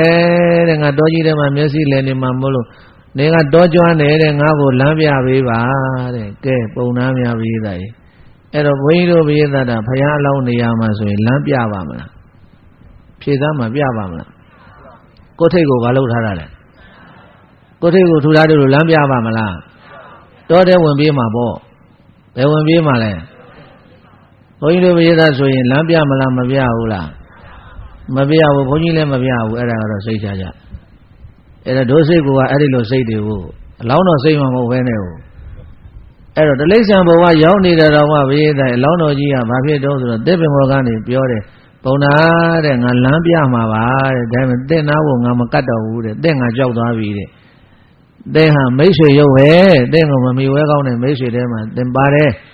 အဲ့ဒါဒီလိုလို့ငါတစ်ပင်တပင်ကနေတပင်ကူးသွားမယ်ငါခေါင်းကကြတဲ့သွေးဆက်နဲ့အဲ့ဒါကြည့်ပြီးတော့နင်လိုက်လာခဲ့တော့တဲ့အဲအလောင်းတော်တို့စိတ်ဟာမရေးတိုင်းအဲ့ဒါပရဟိတစိတ်မဟုတ်ဘူးလားအဲ့ဒါလောကကောင်းကျိုးကိုပဲဆောင်ရွက်သွားတာမဟုတ်ဘူးလားအဲအဲ့ဒါအလောင်းတော်တို့ကအဲ့ဒီလို အဲ့တော့ဘုန်းကြီးတို့မြန်မာနိုင်ငံမှာလည်းပဲအဲ့ဒီဘုရားအလောင်းတော်ကဲ့သို့စိတ်ဓာတ်ရှိတဲ့ရှင်မင်းကြီးတွေတော်တော်များများပေါ်သွားတယ်တို့အကျိုးကိုဘာမှမဆောင်ရွက်ဖဲနဲ့လောကအကျိုးတိုင်းသူပြည်သားတွေချမ်းသာဖို့အဲ့ဒီအကျိုးအကျိုးကျေးဇူးတွေဆောင်ရွက်သွားတာမို့လို့တိုင်းသူပြည်သားတွေကပေးတဲ့နာမည်ပရိသတ်ကြီးတို့ရှင်မင်းကြီးဟာဖယားအလောင်းတော်လိုပဲဖယားအလောင်းတော်လိုပဲဆိုတော့ တကြီးတဲ့ပုဂ္ဂိုလ်တွေကဘုရားအလောင်းနဲ့မမနိုင်နဲ့အဲ့ဒါဆိုဘယ်လိုခေါ်ရမလဲဟိုပြောင်းပြန်ပြန်ခေါ်ဘုရားအလောင်းကိုပြောင်းပြန်ပြန်ခေါ်ရင်ဘယ်လိုခေါ်မလဲအလောင်းဘုရားဆိုတာအဲ့ဒါပဲမှတ်ထားသေးတာသူတို့ခုမှအလောင်းဘုရားဆိုတာဗာလဲသိရနော်ဘုရားလောင်းလို့တော့သမပြောနဲ့ဘုရားလောင်းမဟုတ်ဘူးဘုရားကပွင့်သွားပြီပွင့်တော်မူမဲ့ရမတေယဘုရားကလည်းဒုတိယနတ်ပြည်မှာရှိတယ်အဲ့ဒါကြောင့်မို့လို့သူ့ကိုဘုရားလောင်းလို့မပြောနဲ့ပြောင်းပြန်ခေါ်ကြဟာဆိုတော့ဘယ်လိုဖြစ်သွားလဲ အလောင်းဘုရားဆိုတာအဲ့ဒါမှတ်ထားပြီးသားဘုရားအလောင်းကဲ့သို့စိတ်ဓာတ်ရှိတဲ့ရှင်မင်းကြီးတွေကိုအလောင်းဘုရားအလောင်းမင်းတရားအခုအလောင်းမင်းတရားကြီးဥအောင်စေရအဲဥအောင်စေရကသိစိတ်ဓာတ်ကောင်းတဲ့ရှင်မင်းကြီးဘုရားသားကြီးအဲ့ဒီဥအောင်စေရလက်ထက်မှာအလောင်းမင်းတရားကြီးဥအောင်စေရလက်ထက်မှာတော့ဟောဒီမဟာဗောဓိစေတီတော်ကြီးကိုကြိုက်တလဲဘုရားလို့နာမည်ပြောင်းလိုက်တယ်တဲ့ဘာဘုရားတဲ့လဲကြိုက်တလဲဘုရားလို့ဘွဲအမိသစ်မဲ့တော်မူပြန်တယ် အဲဒီကနေပြီးတော့ဘုန်းကြီးတို့မြန်မာနိုင်ငံ1246ဆိုတော့တုကြုံဘဝကိုမရောက်ခင်ဘောပရိသတ်1240ခွန်မှာ သေဘောနဲ့ဆိုဖျားလက်တို့ပါတော်မူသွားပြီးတော့မြန်မာနိုင်ငံသူကျွန်လက်အောက်ကိုရောက်တာဆိုတော့သူကျွန်လက်အောက်ကိုမရောက်ခင်မှာ1246ခုနှစ်မှာအဲ့ဒါကြိုက်ဖို့ဘုရားကြီးရှေ့မှာရှိတဲ့မင်းเจ้าအဲ့ဒီမင်းเจ้าဆိုတော့ဘုရားကြီးက ဒီဘောမင်းမပါခင်တစ်နှစ်အလိုမှာမင်းကြောင့်ဆိုတော့ဘုရားကြီးကဟောဒီအလောင်းမင်းတရားကြီးနာမည်ပေးခဲ့တဲ့ကြိုက်တလဲဆိုတဲ့စေတီတော်ကြီးကိုဘုရားတိုင်နောက်ထပ်ဘွဲအမိတစ်ထမဲ့တဲ့ရွှေကူကြီးဖရားတဲ့ဘာဖရားတဲ့လဲအဲကြောင့်ရွှေကူကြီးဖရားဆိုတာနောက်ဆုံးဘိတ်ကြံနေခဲ့တဲ့နာမည်အဲ့ဒီရွှေကူကြီးဖရားဆိုတာဘယ်သူမဲ့တာတော့ဆိုရင်အဲ့ဒီကြိုက်ပေါ်မင်းကြောင့်ဆိုတော့ဘုရားကြီးမဲ့သွားတဲ့အဲ့ဒါနာမည်ပါလို့ ဒီနေ့ခေတ်တော့လူတွေရဲ့နားထဲမှာရွှေကူကြီးလို့ပဲနာမည်တွဲနေတယ်ဟုတ်လားဘာဖရာတဲ့လဲအဲ့ဒါတချို့မသိရလူကပြောတယ်အမလေးဘကိုးမှာရွှေကူကြီးရွှေကူလေးကိုသိန်းကိုသားနဲ့တွဲခေါ်နေတာရွှေကူကြီးရွှေကူလေးတဲ့အဝေးကြီးနီးနီးလေးလားအဝေးကြီးလားရွှေကူလေးကဘာမှလဲမဟာစီရီဘက်မှာဘာမှလဲပြေးတာရွှေကူကြီးကဒီမှာရွှေကူကြီးကဒီမှာဟုတ်တယ်မလားအဲ့ဒါမသိတဲ့လူတွေကရွှေကူကြီးရွှေကူလေးဆိုတော့ ရွှေကူကြီးကပဲရွှေကူလေးနာရှိသလိုလိုရွှေကူကြီးနာမှာပဲရွှေကူလေးရရှိသလိုလိုအဲ့ဒါမူလဘုရားတက္ကကြီးနမသရီမင်းကြီးဓမ္မသရီမင်းကြီးတည်ထားတော်မူခဲ့တဲ့မူလပေးတော်မူခဲ့တဲ့ဘွဲတော်ကတော့ပရိသေဟန္တာဝတိဗုဒ္ဓဂါယမဟာဗောဓိစေတီတော်အဲ့ဒါမှတ်လိုက်ပါအဲ့ဒါပါပဲအဲ့ဒါဒီစေတီတော်ကြီးကနှစ်ပေါင်း900ကျော်သွားပြီပရိသေနှစ်ပေါင်း900ကျော်ပြီးတဲ့နောက်မှာ ဒီစေတီကြီးဘာဖြစ်သွားသလဲဘကိုးကငရင်ချိန်ချိန်လှုပ်တာဟုတ်ဘကိုးဘာဖြစ်လဲဘယ်နှချိန်လှုပ်တယ်လဲမသိဘူးအဲ့ဒါတွေပြောနေရင်ကြားမယ်ဟုတ်လားရှင်ဘောတော်ဘုရားသမိုင်းနားထောင်လိုက်ဘကိုးမှာငရင်ဘယ်နှချိန်လှုပ်တုံးဆိုတာအဲ့ဒီငရင်တွေချိန်ချိန်လှုပ်တော့ဟောဒီစေတီကြီးကလည်းပဲငရင်တန်ကြောင့်အဲ့ဒါပြိုကျပြည့်စီပြီးတော့ဥပုံဘဝရောက်သွားတာဘေးသားကြီး ကဲအဲ့ဒါလေးလိုက်ဆိုကြည်သာမှာရှေးရခင်ကဗုဒ္ဓပုံစံရှေးရခင်ကဗုဒ္ဓစံပုံတတ္တဌာနဩချမကုံဘဂုသာတို့မောကြွားနိုင်ပုံ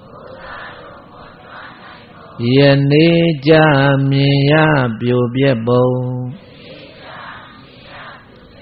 ရှေးရခင်ကဗုဒ္ဓဇံပုံတတ္တဌာနဩချမကုံဘဂုသာတို့မောကြွားနိုင်ပုံယနေ့ကြမြင်ရပြိုပြက်ပုံ ဘုရောကတော့မေတ္တတွေဘဂုသူဘဂုသာဟန္တာဝတီမြို့သူမြို့သားတွေမောကြွားပြီးတော့ဟေးဗုဒ္ဓဂယာဆိုတာအိန္ဒိယသွားဖူးเสียမလိုဘူးတို့ဘဂုမှာရှိတယ်လက်မထောင်ပြီးတော့မောကြွားနိုင်ခဲ့တာတတ္တဌာန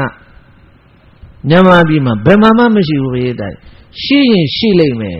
ဒါပေမဲ့လို့အတိုင်းအထွာအကွာအဝေးအလုံးကွာသွားလိုက်ဘာလို့ဆိုတော့ ဓမ္မတိမင်းကြီးကသိတိကြတာစားလဲသိတတ်တာဓမ္မတိမင်းကြီးကသူကိုယ်နိုင်ကလည်းဘုန်းကြီးလူပဲကြီးဆိုတော့စာသိတတ်တဲ့ကျွမ်းတဲ့ဓမ္မတိမင်းကြီးကသူကိုယ်နိုင်ကပိဋကတော်ကျွမ်းကျင်တဲ့ပုဂ္ဂိုလ်ဆိုတော့အလွဲမခံဘူးဓမ္မတိကအဲဒီဘုရားကြီးကိုမဟာဗောဓိသီရိတော်ကြီးကိုဓမ္မတိမင်းကြီးတည်တော်မူသွားတယ်ဆိုတော့ကိုတော်တိုင်းစိတ်တိုင်းကြတည်တော်မူသွားတာအဲ့တော့ဘုန်းကြီးပြောချင်တာက မြန်မာပြည်မှာမဟာဗောဓိစေတီတော်တွေတော်တော်များများပုံစံတူတွေတည်ထားတာဘုန်းကြီးတို့လည်းရောက်ဖူးပါတယ်ဖူးလည်းဖူးဖူးပါတယ်ဒါပေမဲ့လို့ပြည့်တိုင်းမဟာဗောဓိစေတီချင်းတူရင်တူလိမ့်မယ်တတ္တဌာနချင်းတော့ကွာလိမ့်မယ်အဲ့တော့ဟိုတုန်းကဟန္တာဝတီမြို့သူမြို့သားတွေကမော်ကြွားနိုင်ကြတာဟေးမင်းတို့ဗကံမှာဘုရားပေါင်းဘလောက်ပြောတယ်ပြောဖို့လဲဝင်ရိုးတန်တញ្ញညာဗကံဘုရားပေါင်းပြောခြင်းတလောက်ပြောกว่าငါတို့ဟန္တာဝတီမှာ ဓမ္မသတိမင်းကြီးကောင်းမှုတော့တတ္တဌာနမဟာဗောဓိစေတီတော်ကြီးအိန္ဒိယကပုံစံအတိုင်းအကွာအဝေးတိုင်းအလုံးတည်ထားတာဟေးဟန္တာဝတီမှာရှိတယ်ဗုဒ္ဓဂယာအိန္ဒိယသွားဖူးစေရမလို့ဘူးပြည့်တယ်မကိုးတင်ဗုဒ္ဓဂယာရှိတယ်ရှိသလားမရှိဘူးလားအဲကြောင့်ဘဂိုးသားတွေတစ်ချိန်ကမော်ကြွားနိုင်ခဲ့တဲ့ဟန္တာဝတီသူဟန္တာဝတီသားတွေမော်ကြွားနိုင်ခဲ့တဲ့ဟာဒီမဟာဗောဓိစေတီတော်ကြီး ဘာဖြစ်သွားပြီလဲရှေးရခင်ကဗုဒ္ဓစံဘုံတတ္တဌာနဩချမကုံဘဂဝရတော်မော်ကြွားနိုင်ပုံယနေ့ကြမြင်ရပြိုပြက်ပုံပြင်တော့ကပင်လယ်မျိုးကြီးဖြစ်ခဲ့လို့ပထဝီဝင်နေထားရဘဂဝမျိုးကမငြိမ်ဘူးပြည့်တိုင်မြေတုမငြိမ်ဘူးအဲ့ဒါငရင်လှုပ်ရဆိုဘဂဝပါတာလှုပ်ရဆိုပါတာခဏခဏပြိုတယ် အဲ့ဒါဓမေသရီမင်းကြီးတည်ထားတော်မူခဲ့မာဘောဓိစေတော်ကြီးပြိုကျပျက်စီးသွားတယ်တဲ့ပြုတ်ပြင်းမဲ့လို့မရှိဘူးတဲ့ဆိုလိုက်ပါပြိုပြဲနေညဖရာစေတီတွေးမြင်နေရဓမ္မစေတီငါတီဖရာပြထားကြပြီစိတ်တော်တဲ့မလွယ်ဖြစ်လိမ့်မည် ပြိုပြဲနေညဖရာစေတီတွေးမြင်နေရဓမ္မစေတီငါတီဖယားပြထားကြပြီစိတ်တော်တဲ့မလွယ်ဖြစ်လိမ့်မည်ဘုရားတကာကြီးဖြစ်တဲ့ဓမေစီဒီမင်းကြီးသာလင်ကြည့်လို့မြင်လို့ရတဲ့ဘဝက ကြည့်မြင်မယ်ဆိုရင်ဩတစ်ချိန်ကဟန္တာဝတိသူဟန္တာဝတိသဘဂုသူဘဂုသားတွေလက်မတထောင်တောင်းနဲ့မောကျွမ်းနိုင်ခဲ့တဲ့ငါတည်ခဲ့တဲ့မဟာဗောဓိစေတီတော်ကြီးဟာအခုပြိုးကြပျက်စီးသွားပြီတဲတဲ့လူတွေမရှိပါလားလို့ငါစေတီတော်ကြီးပြစ်ထားကြပြီလို့မင်းကြီးရဲ့စိတ်တော်ထဲမှာဖြစ်မလားမဖြစ်ဘူးလားအေးအဲ့ဒါကြောင့်မို့လို့ပြိုပြဲနေညာ ဘုရားစေတီတွေးမြင်နေရဓမ္မစေတီငါတီဖယားပြစ်ထားကြပြီစိတ်တော်တဲ့မလွယ်ဖြစ်လိမ့်မည်တပည့်ဒီမင်းကြီးတာကြည်မြင်နိုင်တဲ့ဘဝကကြည်မြင်မယ်ဆိုရင်မာဘောဓိစေတီတော်ကြီးပြောကြပြည့်စည်နေတာဖယားတကဖယားမတွေပေါ်ရင်ကောင်းပဲလို့ဒီဘုရားကြီးကအဖူးပြင်နဲတယ်ဘုရားတိုင်ဘာလို့လမ်းမတာလို့ဘာမတာလို့ အခုတော့လမ်းကြီးတာတာရရနဲ့ဒီလမ်းကြီးတာကောင်းသွားရင်ဖះဘူးပြည်သူတွေဝင်ပြီးတော့ဖိုးတတ္တဌာနသူ့နေရာသူကြောက်စားတဲ့လေးတွေစိုက်ပြီးတော့နေရာလေးတွေပြလို့ညွန်နှမ်းမယ်ဆိုရင်ဟိုဂိုက်လုပ်တဲ့ပုံကိုယ်တွေကလည်းဒီခေါ်လာမှာပေါ့ဟုတ်တယ်မဟုတ်လားအဓိကကဒီဘုရားကလမ်းမကောင်းလို့ဖြစ်နေတာဘာမကောင်းလို့လဲအဲ့တော့ဒီလမ်းကိုဒီနေ့အလုံးသောရက်ွယ်သူရသောတာမြို့သူမြို့သားဘုန်းကြီးတို့ပါဝင်ဓမ္မဂရိကဆရာတော်များလည်းပဲဒီလမ်းကြီးဖြစ်မြောက်အောင်ဆိုပြီးတော့ ဘုန်းကြီးတို့ဓမ္မသမင်တရားပဲမနေ့က9နာရီခွဲမှမန်းလေးရပြန်လာတာအဲ့ဒါကြောက်ရောက်တော့ကမန်းကရငါဒီတိုင်းဟောလို့တော့ဖြစ်သေးဘူးအဲကြပြလေးတွေဗာလေးတွေစီယုံမှာဆိုပြီးအဲကောက်ခံငင်ငါနဲ့ထစီကြတာဆိုလို့ကောင်းလားဟုတ်ရဲ့လားပြုပြနေညဖရာစေတီတွေးမြင်နေရဓမ္မစေတီငါတီဖရာပြထားကြပြီစိတ်တော်တဲ့မလွယ်ဖြစ်လိမ့်မည်ရှေ့ရခင်ကဗုဒ္ဓဇံဘုံ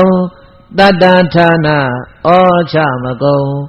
ဘဂုရာတို့မောကြွားနိုင်ပုံယနေ့ကြမြင်ရပြိုပြပုံမကောင်းဘူးလားဘာကောင်းတာလဲကြပြကောင်းတာလားအတန်ကောင်းတာလား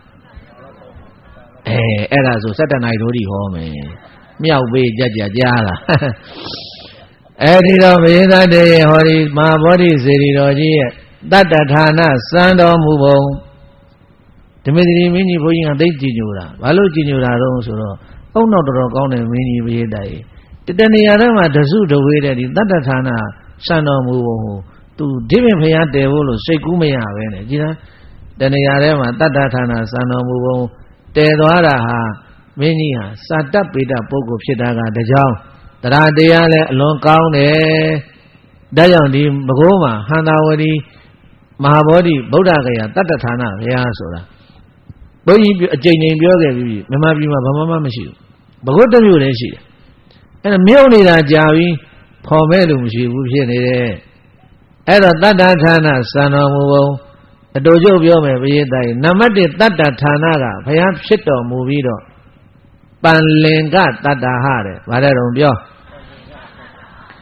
တရားသုံးခုကဆုံလပြည့်နေမှာဘုရားဖြစ်ကိုရောက်တော်မူတယ် ကဆုံလားပြီကျော်တရေနေရောက်တဲ့အခါကျတော့ဗုဒ္ဓမြတ်စွာဘုရားတရင်သုံးလဲအပရာဇိတပလင်တော်မှာဗောဓိပင်အောက်မှာပလင်ပေါက်တယ်ဆိုတာကြားဘူးတယ်မို့လားဗောဓိမိုလေပလင်ကမိမာရံသသေနာအာဟုရံ ကဟိတဝပါရမိန်ကကံယောဇိနာတိဇယုံသောသောရိမူလေပလင်ကံမိမာရံတသေနအာဟုရံ ကဟိတဝပါရမိန်ကကံယောဇိနာတိဇယုံသောတဘေဝေရိပံတဝနာသောဝတိတုဇယံဝရံဘောရိမူလေမြေဖြာဥခိုင်မန္တိုင်းတိရိဘောဓိတေမင်းပင်ချေရ၌ပါလင်ကံမီနဝရကိုယ်သွဲဖြိုးကျွဲရောင်လျံလောကမလင်းထိန်နဝိစပန်းတို့ဖြင့်တလန်းစံနေတော်မူရာ ယရဏအမြုတေကျက်တရေညိုယုံအထောဆုံးမမေသောပလင်ဝေဌာန၌နိသိန်သောလေးသစ္စာဖူကိုင်ကိုခိုးနိုင်အောင်ခိုးမိဟုရည်စူးချက်ဒိဋ္ဌံမြင်စိတ်တဏ္ဍစံနေတော်မူလျက်ဘုရားဖြစ်တော်မူပြီးတော့ကဆုံလားပြီကျော်တရားနေမှာဗုဒ္ဓမြတ်စွာဘုရားဘယ်မှမထတော့ပဲနဲ့ပိယသားရေပလင်ပေါ်မှာပြန်ထိုင်နေတယ် အဲ့ဒါဘာဖြစ်လို့ထိုင်နေတာလဲဘုရားပြပြနည်းနည်းမပေါ့ဟိုနာဒီနာသွားပါဦးလားမသွားဘူးဒီပလင်ပေါ်မှာမြတ်စွာဘုရားရှင်ကိုရမြဘာဖြစ်လို့ထိုင်တော်မူတာတော့ဆိုလို့ရှိရင်ဒီပလင်တော်ကိုရဖို့လို့လေးသိန်းချင်းနဲ့ကဘာတသိန်းတို့ကာလပါလုံးပါရမီ10ပါးတဲ့ပါရမီဘယ်နှပါလဲပါရမီငကံတသိန်းနဲ့လေးသိန်းချင်းဘဝတိုင်းသမပြေအောင်အထွေတွေရှိမှုဖြေမှုတဲ့ မဟာဝတိပါရမီထက်မြက်လည်းသုံးတော်စိန်တန်လျက်ကိုလေးသိန်းချင်းနဲ့ကဘာတသိန်းတို့တိုင်းနဲ့ပါရမီ10ပါးဖြစ်ကျင်တော်မူခဲ့ရတယ်မျက်လုံးတွေလှူခဲ့ရတာကောင်းကင်ကကျယ်လောက်များတယ်အသွေးတွေအသားတွေလှူခဲ့ရတာအာမြင့်မို့တောင်ကြီးမကဝေပုံလားတောင်ကြီးမကသမုတ်တရာကြီးမကသားတော်တွေသမီးတော်တွေလှူပြီးတော့မှရခဲ့ရတဲ့ဒီပလင်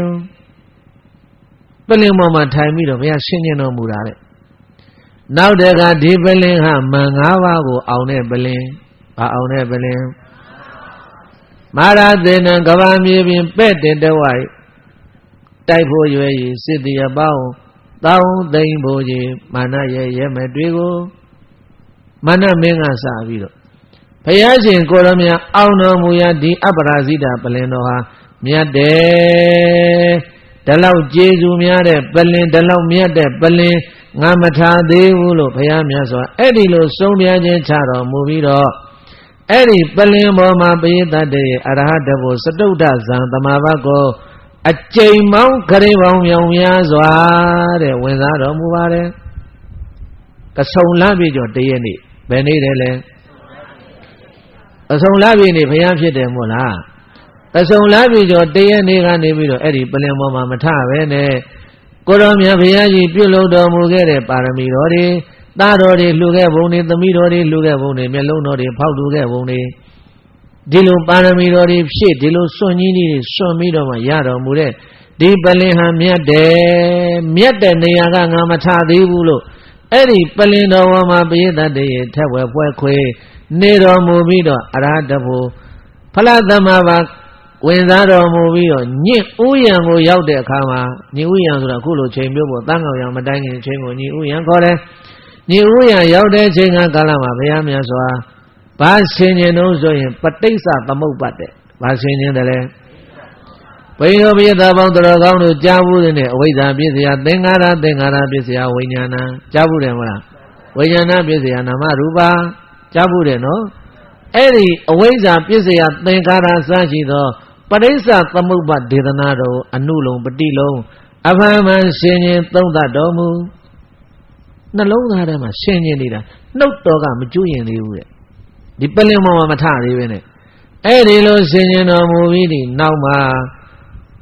ပရိသသမုပ္ပါဒနုလုံပတိလုံရှင်းကျင်လို့ပြီးတဲ့အခါကျတော့ဘုရားမြတ်စွာယရဟေပတုဘုဏိဓမ္မအတ္တပိတောဇာယတောပြမနတာ အထာသာကင်္ကာဝပယံတိသဗ္ဗယာတောပဇာနာတိတာဟေတုဓမ္မာဒီဂါထာကြတော့ပရိသတ်ရဲ့နှုတ်တော်ကနေကျွရင်တာဘယ်ကနေကျွရင်တာအဲ့ဒီဂါထာမျိုးသုံးဂါထာကိုဘုရားမြတ်စွာနှုတ်တော်ကကျွရင်ဥဒန်းကျွရင်ပြီးတော့ကဆုံလပြေကျော်9ရက်နေထီအောင်တဲ့ကဆုံလပြေကျော်1ရက်နေကနေပြီးတော့ကဆုံလပြေကျော်ဘယ်နှရက်နေလဲ ခုနှစ်ရက်လုံးလုံးမထားပဲနဲ့အဲ့ဒီပလင်တော်ပေါ်မှာပရိသတ်တွေအရဟတဘုချမ်းသာကိုခံစားတော်မူပြီးတော့စံပေတော်မူနေတာကိုပန်လင်ကတတ္တဟာဘာတတ္တဟာတဲ့လေဒါကြောင့်ဘုန်းကြီးတို့လေဒီဆရာတော်ဘုရားကြီးကဘုံရောင်ထွန်းတိန်စောမှုနေ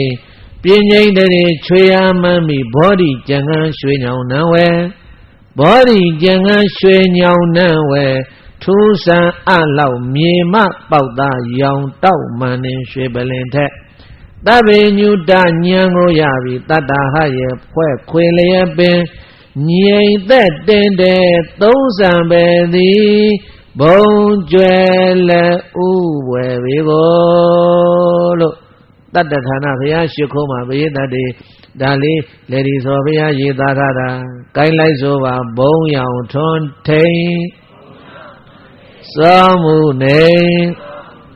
ပင်ငိမ့်တရေချွေရမှန်ပြီဘောဓိကျင်ငန်းရွှေညောင်နှံဝဲ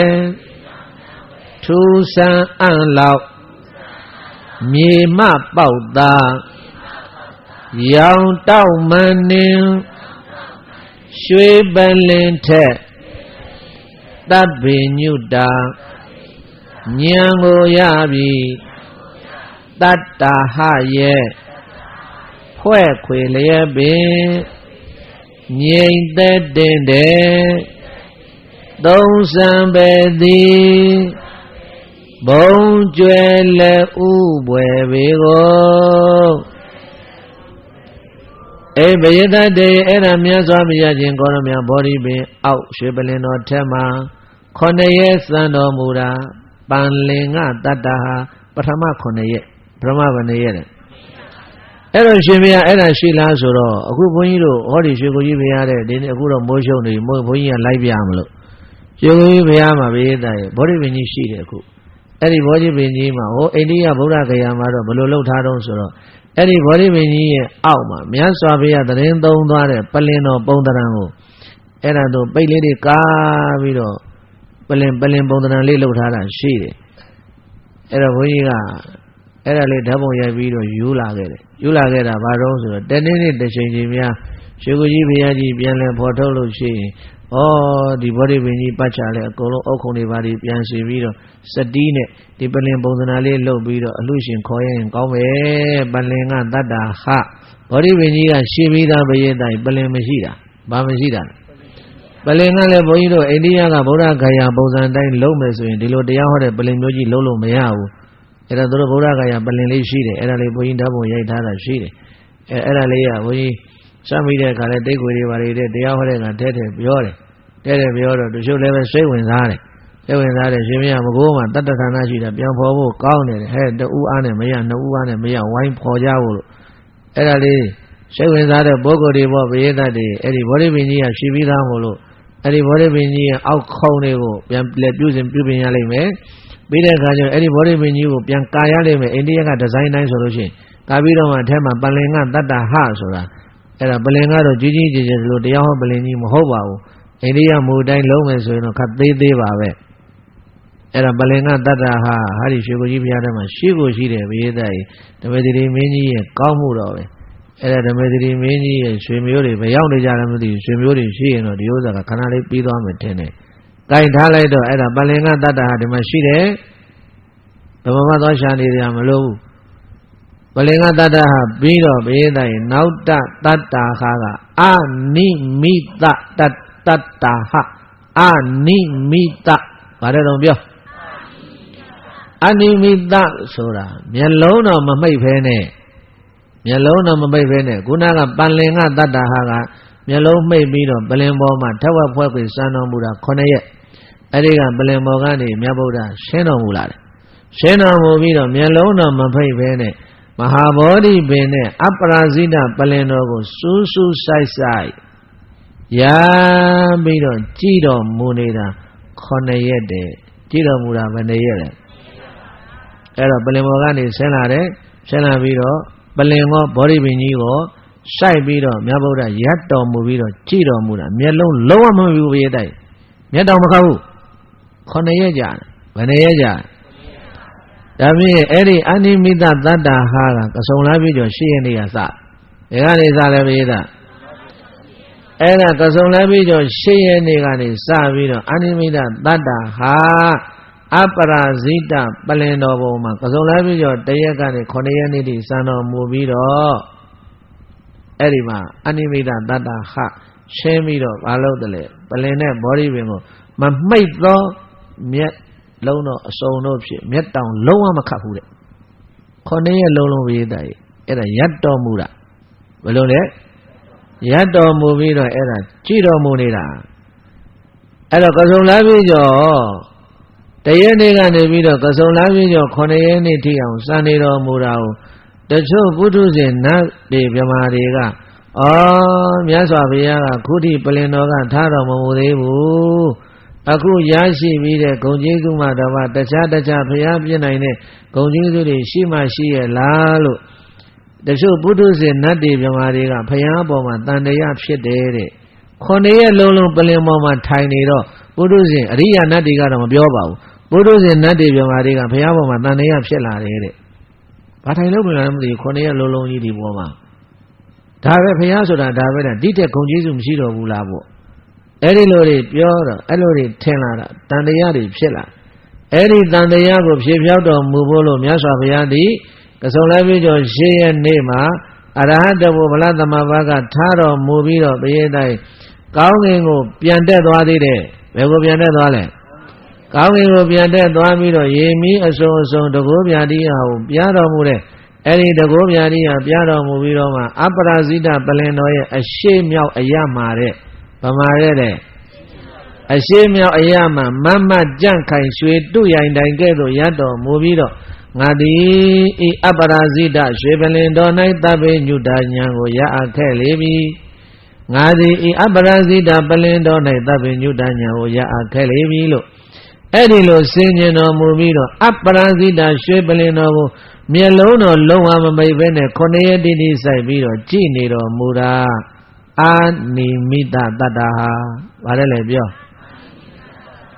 ရှင်မြတ်အာနိမိတတတ္တာကအနိမိတကုံရှိသလားရှိတယ်လေခုဒီနောက်တဲ့ရှင်ကကြီးဘုရားဝင်ဝင်ကြီးဒီဘက်မှာကုန်းပေါ်မှာမရကိုတော်လေးတည်ထားတာအဲ့ဒါအနိမိတကုံပဲဝေးတိုက်အဲ့ဒါသွားကြည့်အိန္ဒိယမှာလည်းအဲ့ဒီနေရာမှာပဲဓပုံစံနဲ့ပဲ သို့တော့ဒီမှာကတော့ဘာဖြစ်လဲဟိုဓမ္မသတိမင်းကြီးလက်ထက်ကတော့ကြာကြာနာနာဘာဖြစ်လဲကာယံပြီးတော့ထားလိုက်မယ်အခုတော့ပြိုကျပြည့်စည်နေပေါင်း900ကျော်သွားပြီဆိုတော့အဲ့ဒါဘုရားလေးရလည်းညံတော်ကသေးသေးလေးငယ်ငယ်လေးအနိမိတကုန်းပေါ်မှာကုန်းတော်မတက်ဘူးလို့လည်းမရဘူးဘာလို့လဲကုန်းကမြေကုန်းကြီးဖြစ်နေပြီအဲအဲ့ဒါအောက်တိုင်းတွေဘာတွေကာယံကြွေပြားတွေဘာတွေခင်းပြီးတော့ဒီဘက်မှာ6ပေလောက်ရှိတဲ့မတ္တရုပ်ဘွားတော်ကြီးတဆူအနိမိတတတ္တဟအောက်ကကြောက်စာလေးနဲ့တပည့်ကဘုရားတကကောင်းမှုရှင်အနိမိတတတ္တဟဘုရားတကကောင်းမှုရှင်ဘ ᱹ ဆိုရင် ဘကိုးမှာဘိုးသားတို့မော်ကြွားနိုင်စရာဘယေသားကြီးတစ်ချက်ကလေးမှလွယ်မသွားဘူးအဲ့တော့ဘုန်းကြီးနဲ့ကြောက်ပြဆရာတော်ဘုရားကရာသွားတော့ကြောက်ပြဆရာတော်ဘုန်းကြီးမှပြောလေဥဒေတော်ကြီးတဲ့တို့ရွှေကိုကြီးဘုရားကဒီနာရတယ်အကုန်လုံးတူတယ်တဲ့တူမှာပေါ့ဘုန်းကြီးလို့ဓမ္မတိမင်းကြီးကအတိအကျအတိုင်းထွာယူထားတာဟုတ်လို့အဲ့ဒါအနိမိတကုံးဆိုတာတကယ်ရှိတယ်ဘုန်းကြီးတို့ပြေးတော့ဟောဟောဒီရွှေကိုကြီးမှနည်းနည်းငမလဲမတော့ဘူးကြ အဲ့ဒါဘုရားလေးကညံတော်ငယ်ငယ်လေးနဲ့မထင်ရှားဘူးဇာနလည်းမရှိဘူးအနိမိတကုံးဆိုပြီးတော့မမကပီးကြောက်စာတွေပိုင်းနဲ့ဒီလိုဖြစ်နေရမှာအနိမိတကုံးတော်ဆိုပြီးတော့ဒီလိုဖြစ်ရမှာအောင်အဲ့ဒါပြိုကျပြည့်စည်နေတာဓမေသတိမင်းကြီးတာမြင်လဲတော့ဘယေသားစိတ်မကောင်းတော်တော်ဖြစ်မယ်ဘုန်းကြီးတော်ကြည့်ပြီးတော့စိတ်မကောင်းဖြစ်တယ်ဩဘကိုးသားတွေမော်ကြွနိုင်ခဲ့တဲ့နေရာဘယ်လိုဖြစ်လို့မြုပ်သွားလဲမသိဘူးအဲ့ဒါပြန်လဲဘောထုတ်ရှင်နေတာကြားပြီးအဲ့တော့ဒီနေ့တခါကြီးများကောဘကလူကြီးများဟောဒီလမ်းအဖွဲလူကြီးများ ဘုန်းကြီးလာလျှောက်တယ်ရှင်မဗတ်တရားဟောမှလဲအေးကြိုက်ပေါ်ဘုရားသမိုင်းတော်ဟောပြီးပြီရှင်ကြီးဘုရားသမိုင်းဟောဖို့စီစဉ်ရှိတယ်ကောင်းတယ်ဘုရားတယ်ဆိုရင်အဲ့ဒါဟောရဟောရနဲ့ဘုရားသားကို10နာရီထိုးတော့မယ်အခုမှနှစ်တတ်တတ်တာဟာနှစ်ခုပဲရသေးတယ်ဟုတ်လားကောင်းအောင်တော့ပြောမယ်ဟုတ်လားဘုရားသားရေနောက်ပြန်ဟောလဲလွယ်တဲ့တရားမို့တော့အဲ့ဒါကောင်းအောင်တော့ပြောပြရစီတော့ကာယခုမြတ်ဗုဒ္ဓသည်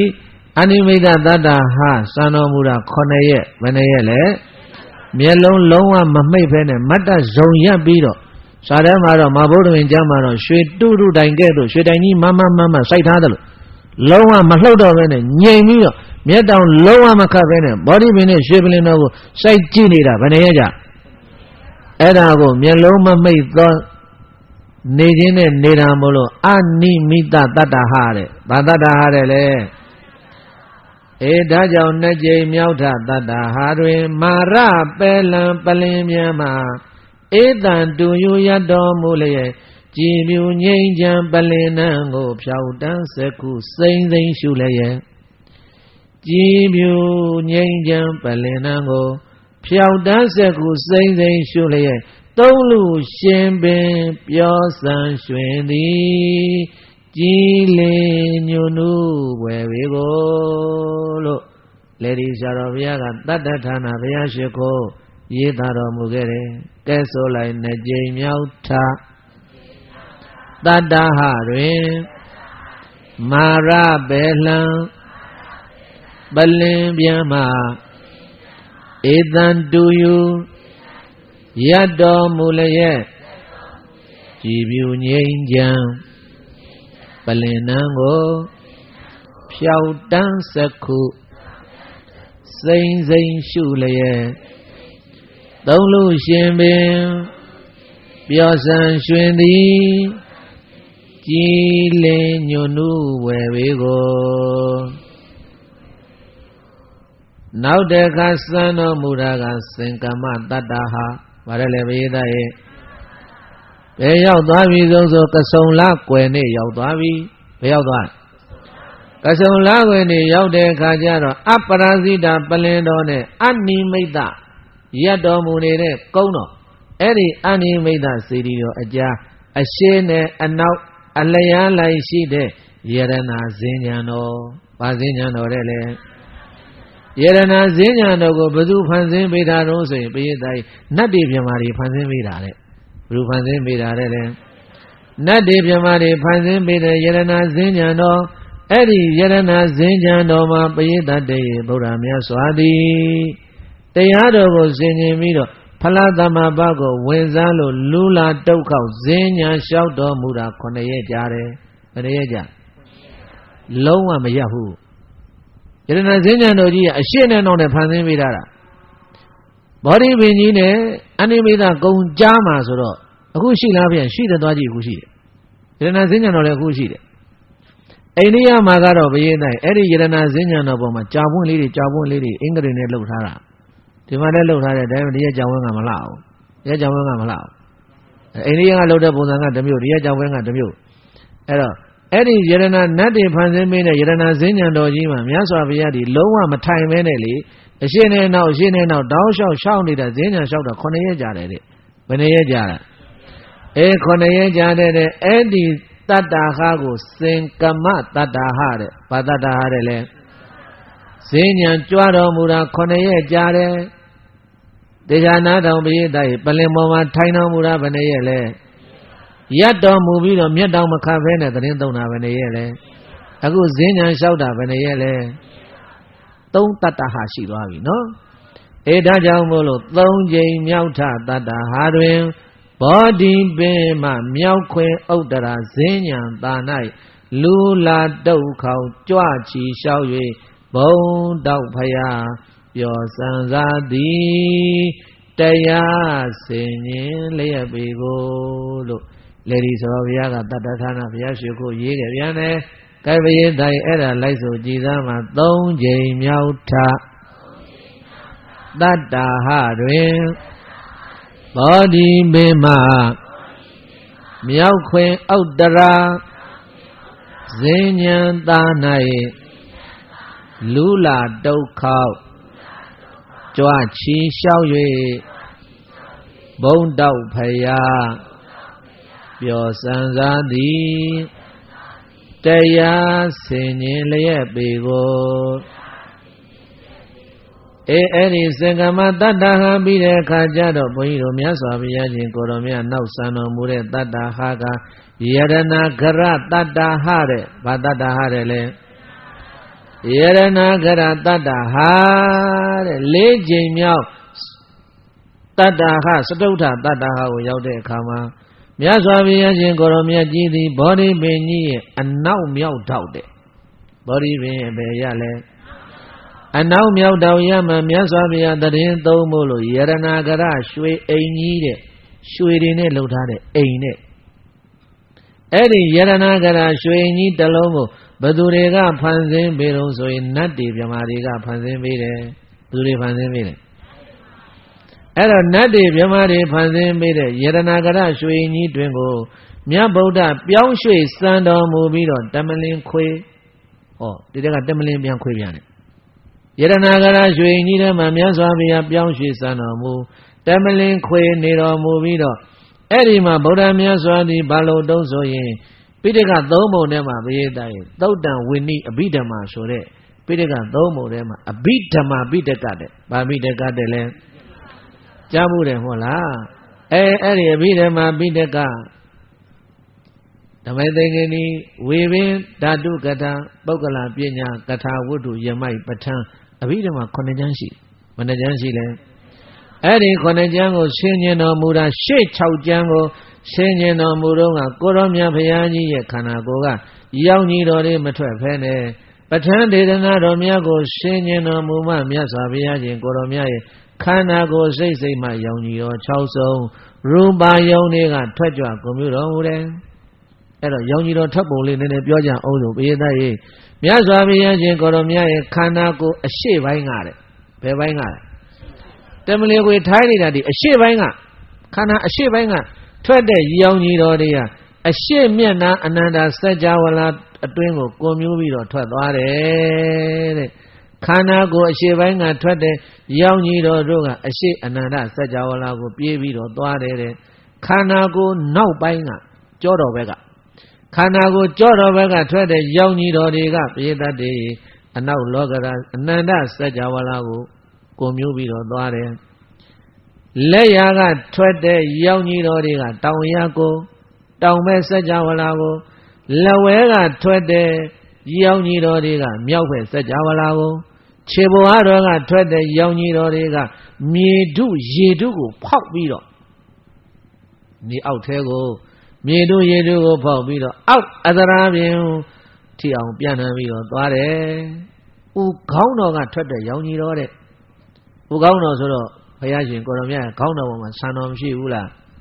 စံကေမြက်ခုံးမြက်လုံးမြက်တောင်မုံ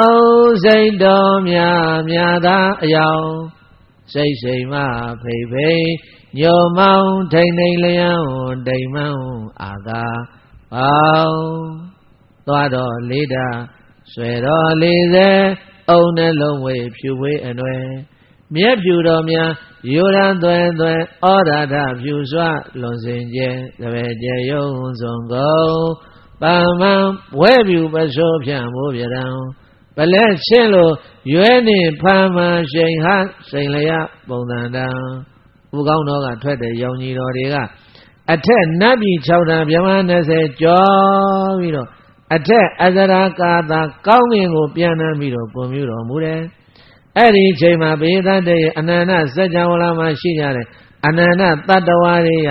အဲ့ဒီရောင်ကြီးတော်တွေရဲ့တကိုးတော်ကြောင့်ရောင်ကြီးတော်အရှိန်ခတ်ပြီးတော့တကိုယ်လုံးကရွှေရောင်နေတောက်နေတယ်တဲ့။ဘာရောင်တောက်နေတယ်လဲ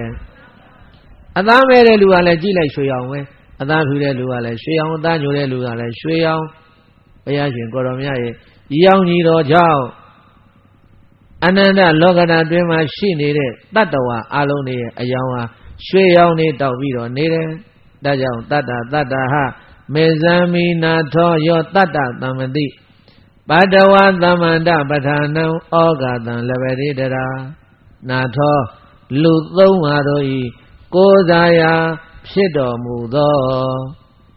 တတ္တာခြင်းမြတ်စွာဘုရားရှင်ကိုရောမြတ်ကြီးသည်တတ္တတတ္တဟ မေဇာမိတတ္တဟခောနလီနောဇာလီဝေချက်လေဝေချာယရဏကရတတ္တဟ၌တတ္တဓမ္မသိင်္ဂနီဝေဝေဓာတုကတာပုဂ္ဂလာပညာကထာဝတ္ထုယမိုက်ပဋ္ဌံဘိဓမ္မာခုနှစ်ကျမ်းတို့ကိုတံပတိကအလီလီဖြည့်ခဲ့ညီသာပါရမီဘုံစီအတီးတီကြောင့်နိုင်ရှိမဲရှဲနည်းနည်းမွေသိမ့် တေစိန်ပြောထုတပ်ပိညုဖြင့်ရှေးယူထထသုံးသာဆင်ញင်တော်မူလေပြီတရထိုသောသုံးသာဆင်ញင်တော်မူသောအခါ၌တမန္တပဋ္ဌာနံယူဒနာပေါင်း8400နဝံဆောင်သာယူဒနာပေါင်း8400နဝံဆောင်သာရောက်ဆောင်ပတ်ခွေသမုတ်ရေထက်အနေကျေဝံနိဆုံးစံတော်သမန္တပဋ္ဌာန်းကျမ်းကြီးသော ပတ္တဝဉာဏ်ဤတော်လျှောက်အစဉ်ရောက်၍ဉာဏံကအလီလီဖြည့်ခဲ့ညီသာပါရမီဘုံစီအတီးဒီကြောင့်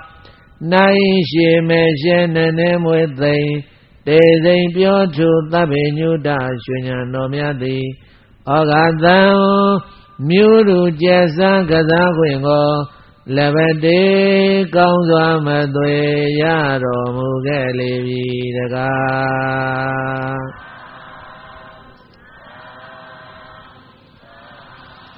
ပဋ္ဌာန်းကျမ်းကြီးကလည်းကြီးကျယ်ဉာဏ်တော်ကြီးကလည်းကျယ်ဝန်းတော်ဘေးသတ္တေဒီပင်ကျမ်းနေသုံးသဆင်းဉဏ်တော်မူစဉ်ကာလကဘုရားရှင်ကိုရောမြတ်ရဲ့ခန္ဓာကိုယ်ကရောင်ကြီးတော်တွေထွက်တော်မမူပဲနဲ့ပဋ္ဌာန်းကျမ်းကြီးကိုဆင်ញင်သုံးသတော်မူတဲ့အခါကျတော့မှရောင်ကြီးတော်တွေထွက်တယ်တဲ့ကိုင်းတံမြင့်ရှင်ဘုရားအဲ့ဒီယရနာကရရွှေအိမ်ဟောဒီရွှေကူကြီးဘုရားမှာရှိလားလို့မေးရှိပါတယ်ရှိသလားမရှိဘူးလား စတုဒ္ဓတတ္တဟာယရငနာရွှေအိမ်ရှိတယ်ပရိသတ်တွေတစ်ချက်လေးမှလွယ်မသွားဘူးဓမ္မစီဒီမင်းကြီးရဘုန်းကြီးချီးကျူးလိုက်တာလေဩသွားတိုက်တဲ့လူတွေကလည်းအတိုင်းထွာအကွာဝေးမမှန်ကန်ကန်တိုင်းထွာနိုင်တယ်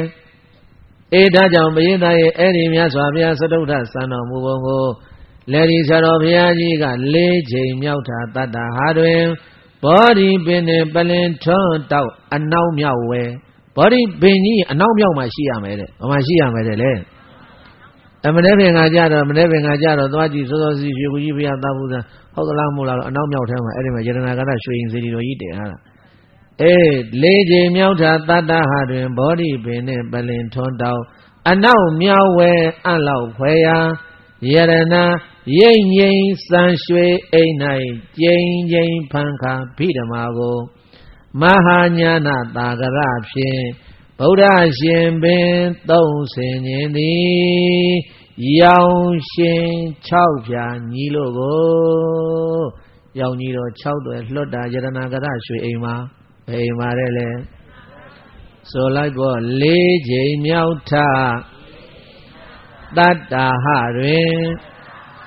ဘောဓိမင်းနှင့်ပလင်ထွန်းတောက်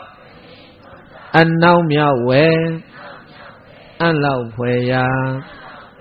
ယရနာရိမ့်ငိမ့်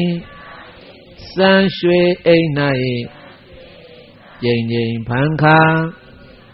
ဗိဓမာကိုမဟာညာနာတာဂရဖြင့်ဗုဒ္ဓရှင်ပင်သုံးဆင်ခြင်းသည်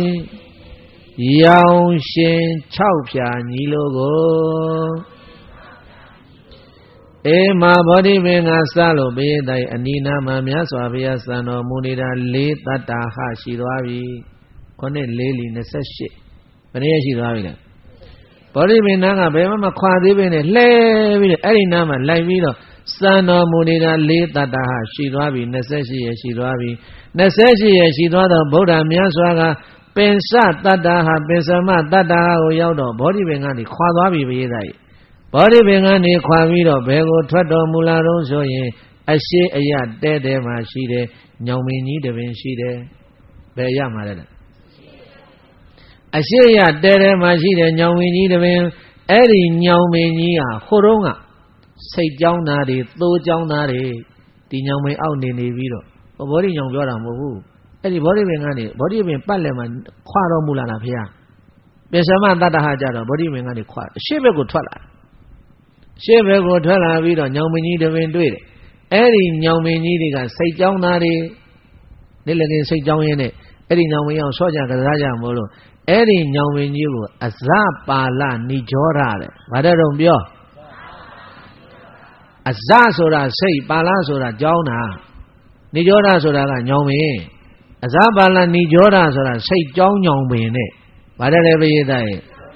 ဘာဖြစ်လို့စိတ်ကြောင်းညောင်ပင်လို့ခေါ်တာတော့စိတ်စိတ်ကြောင်းသားတွေအဲ့ဒီအောက်မှာဆော့ဆော့နေလို့သူတို့နေလေနေငယ်လာနားနေလို့အဲ့ဒါကြောင့်စိတ်ကြောင်းညောင်ပင်လို့ခေါ်တာအဲ့ဒီစိတ်ကြောင်းညောင်ပင်ကိုမြတ်စွာဘုရားရှင်ကိုရမရသည်ကြွတော်မူလာတယ်တဲ့အဲ့ဒီစိတ်ကြောင်းညောင်ပင်အောက်မှာဗုဒ္ဓမြတ်စွာတရင်သုံးနေတုံးပရိသတ်ရဲ့အဲ့ဒီမှာပုံနှန်းတယောက်ရောက်လာတယ်တဲ့ဘယ်သူရောက်လာလဲ အဲ့ဒီပုံနာကြီးနာမည်ကဟုံဟုံကတဲ့ဘယ်သူလဲတဲ့ဟုံဟုံကလို့အမည်ရတဲ့အဲ့ဒါပုံနာကြီးတယောက်ရောက်လာရောက်လာပြီးတော့မြတ်စွာဘုရားမှလည်းသူမသိဘူးယဟန်လို့ပဲထင်နေတာအဲ့ဒါဟုံကလို့ခေါ်တဲ့ပုံနာကြီးရောက်လာပြီးတော့အဲ့ဒါမြတ်စွာဘုရားနဲ့သူကမတ်တရက်တယ်ဘုရားမရှိခိုးဘူးအဲ့ဒါဗုဒ္ဓဂါရဝတ္တဗာရိညာတွေပိဿပဋိဋ္ဌိတနီးအရာဘာမှမရှိသေးဘူး အဲ့ဒါဟောကပုံနာကြီးဘာလို့လဲအဲ့ဒါမြတ်စွာဘုရားနာသွားမြတ်စွာဘုရားနာသွားပြီးတော့မတ္တရပြီးတော့အဲ့ဒီမှာဘုန်းကြီးတို့မြတ်စွာဘုရားကိုမေးတယ်တဲ့မြည်ဘယ်သူလဲငါမြည်ကောရမကောင်းပြီရှင်ကောရမလောကမှာတပည့်တော့မေးစရာမေးခွန်းလေးတစ်ခုရှိလို့မေးပါရစေသူကသူပြောသူကသူမေးလောကမှာအဘယ်မြသောတရားဖြင့်ဗြဟ္မဏခေါ်ဆိုပုဂ္ဂိုလ်သူမြဖြစ်နိုင်ပါသလဲ ဘယ်တရားကပုဂ္ဂိုလ်သူမြဖြစ်အောင်ပြုပေးနိုင်ပါသလဲသူသူမေးခွန်းမေးတယ်သူမေးတဲ့မေးခွန်းလေးကိုအဖြောက်ပြန်ရမယ်ဆိုရင်မေးလိုက်လောကထဲမှာ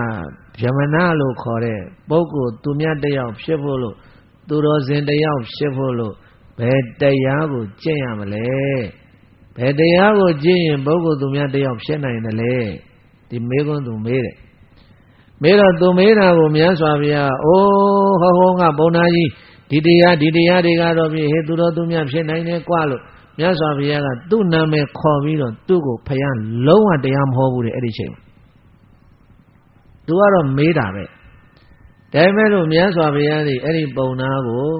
အိုးငါ့ကိုမေးနေတဲ့ဟောကပုံနာကြီးဒီတရားဒီတရားတွေကတော့ပုဂ္ဂိုလ်သူများဖြစ်အောင် ပြုပေးနိုင်တယ်လို့ဆိုပြီးတော့အဲ့ဒီလိုတရားတော်ကိုအစချေပြီးတော့ဟောဒုက္ခသမုဒယនិရောဓမဲကသစ္စာစိုက်တဲ့ထိအောင်မြတ်စွာဘုရားဒီအဲ့ဒီချိန်မှာလုံးဝ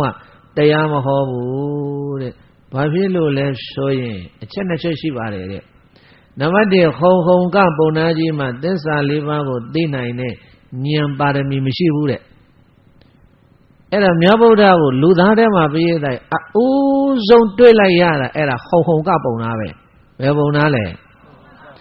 အပင်သဝဂီတို့နောက်ကြသေးတယ်တပု္ပ္ပဗန္လိကတို့နောက်ကြသေးတယ်ဖယားများစွာကိုအဦးဆုံးပြည့်တဲ့အဲ့ဒါတွေ့လိုက်ရတာဖူးလိုက်ရတယ်လို့ဘုန်းကြီးဘာလို့မသုံးတာတော့ဆိုတော့သူကဖယားဖူးတာမှမဟုတ်ဘူးမတ်တရပြီဖယားကိုမေးခွန်းထုတ်တာအဦးဆုံးတွေ့လိုက်ရတာအဲ့ဒါဟောဟောကပုံနာပဲအဲ့တော့ဒီဟောဟောကပုံနာမေးတဲ့မေးခွန်းကိုမြတ်ဗုဒ္ဓတိဘာဖြစ်လို့မဖြေတာလဲဆိုရင်အဲ့ဒီဟောဟောကပုံနာကြီးမှာသစ္စာကိုသိနိုင်သောဉာဏ်ပါရမီမရှိဘူးတဲ့ နောက်တစ်ခုဘေးတိုက်ဓမ္မစကြာတရားကိုမဟောသေးပဲနဲ့ဓမ္မစကြာတရားကိုမဟောသေးမီ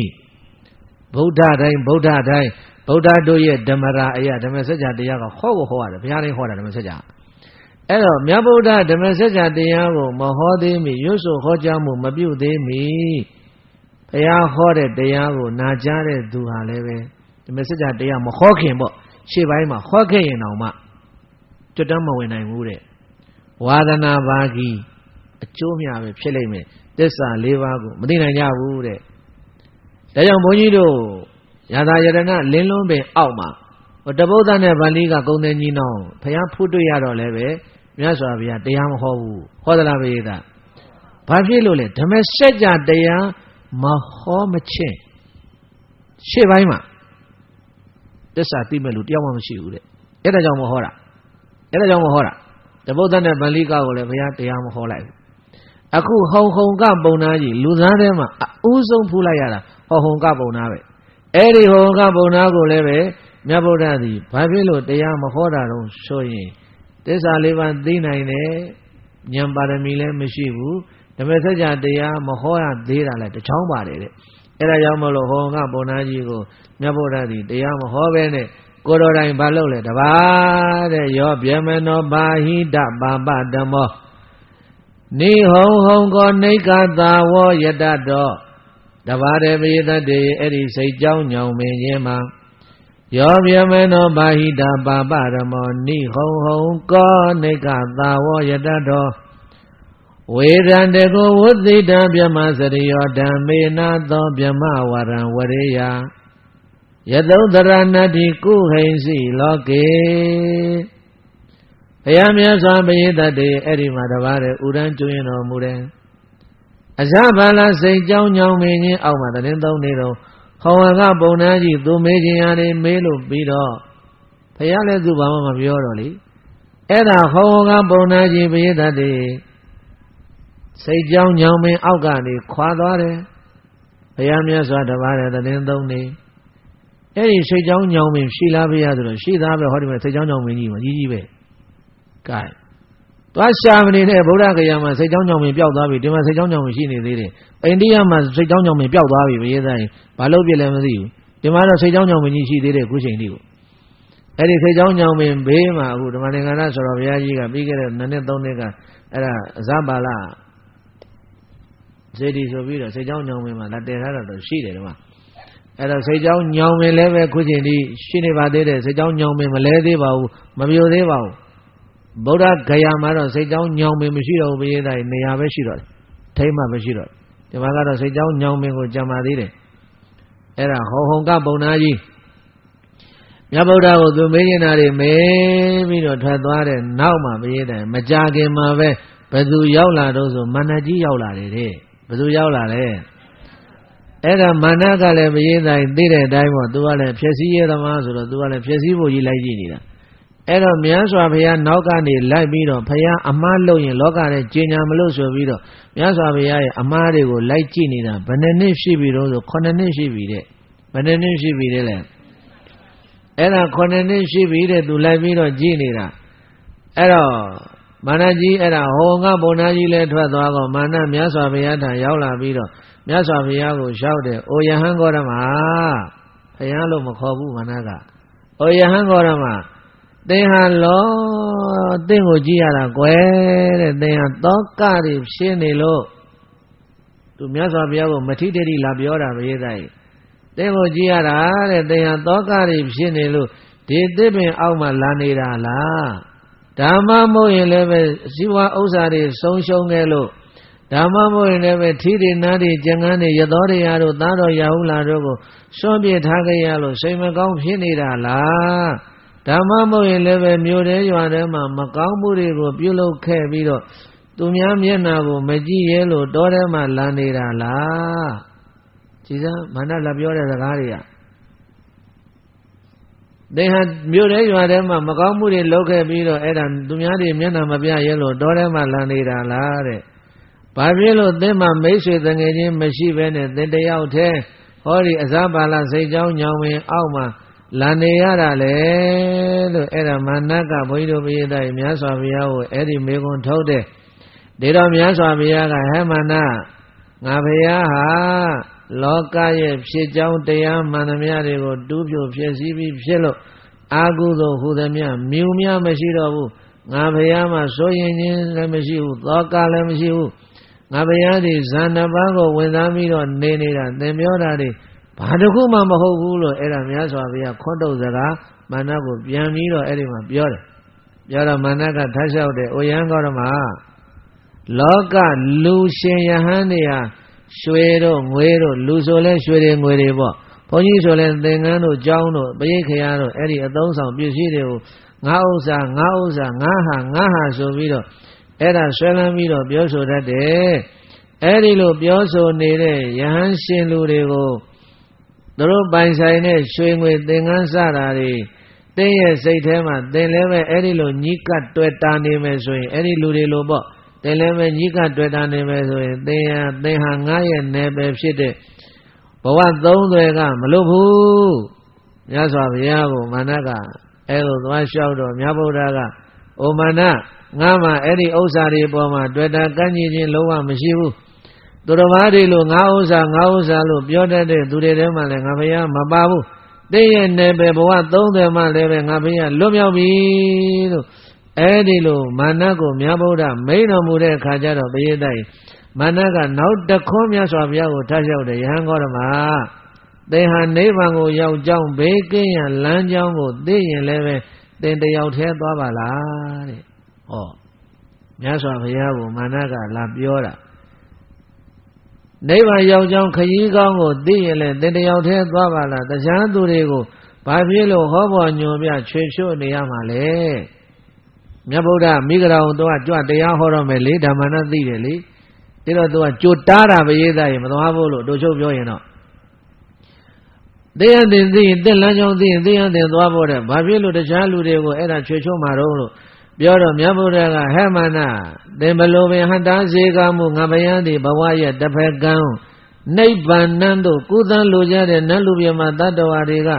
သေခြင်းလို့ရနိဗ္ဗာန်ရောက်ကြောင်းခရီးကောင်းကိုတရားဝဲစမှာဘုန်းကြီးရွတ်ခဲ့ပြီးပြီကုံမေကင်းစာဝိဝေစိတ်တဝါသုမေကယန္တုပါဏိနောဝေကေသငါဝေဝေစိတ်တဝါဥဆုံးသုမေကကောဘဝေ နိဗ္ဗာန်ရောက်ကြောင်းခရီးကောင်းကိုမေးရောက်ရင်တော့ငါဖယားပြသမယ်ညွန်ကြားမယ်လို့အဲ့ဒီလိုမိန်တော်မူလိုက်တော့မန္တကြီးပြောစရာစကားမရှိတော့ဘူးဖြစ်သွားတယ်ပြောစရာစကားမရှိဖြစ်သွားတော့မာနဘာလုံးနေတုံးဆိုတော့ဘယေတိုင်စာထဲမှာတော့လေလက်ခြေတွေကျိုးနေတဲ့ပဇွန်ကြီးလိုပဲရက်ကန်ရက်ကန်နဲ့မိုင်း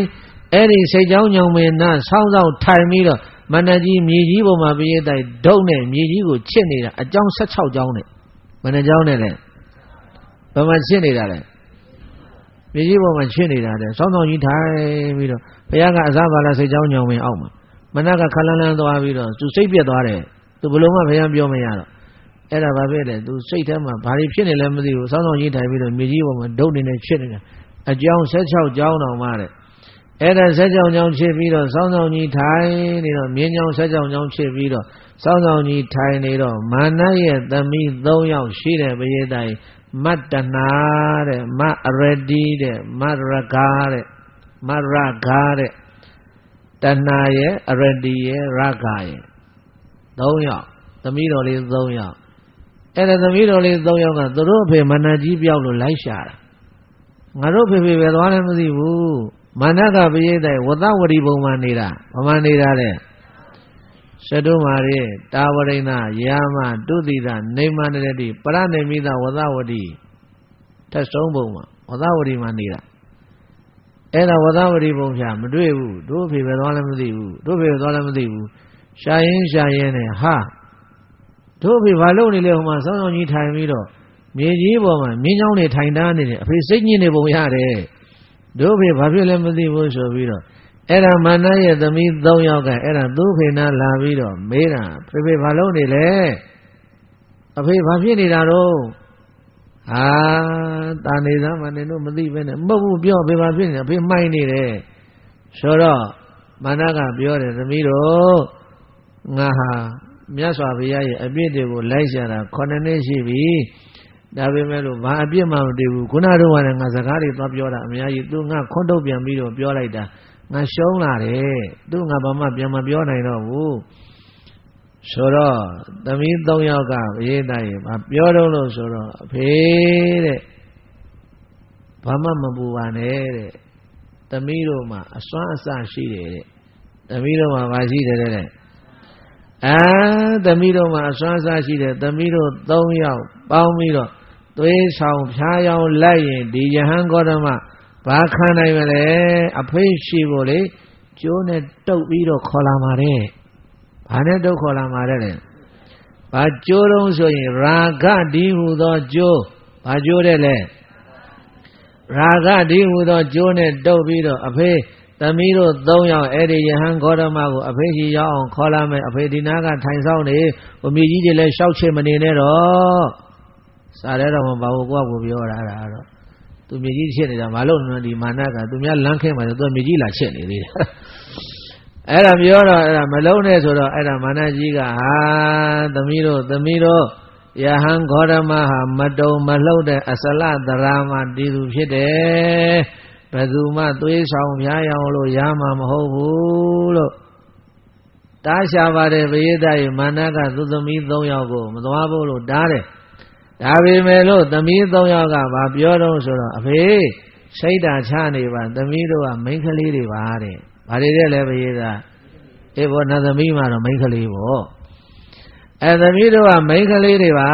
တဲ့ယဟန်ကြီးခောဓမ္မကိုလေ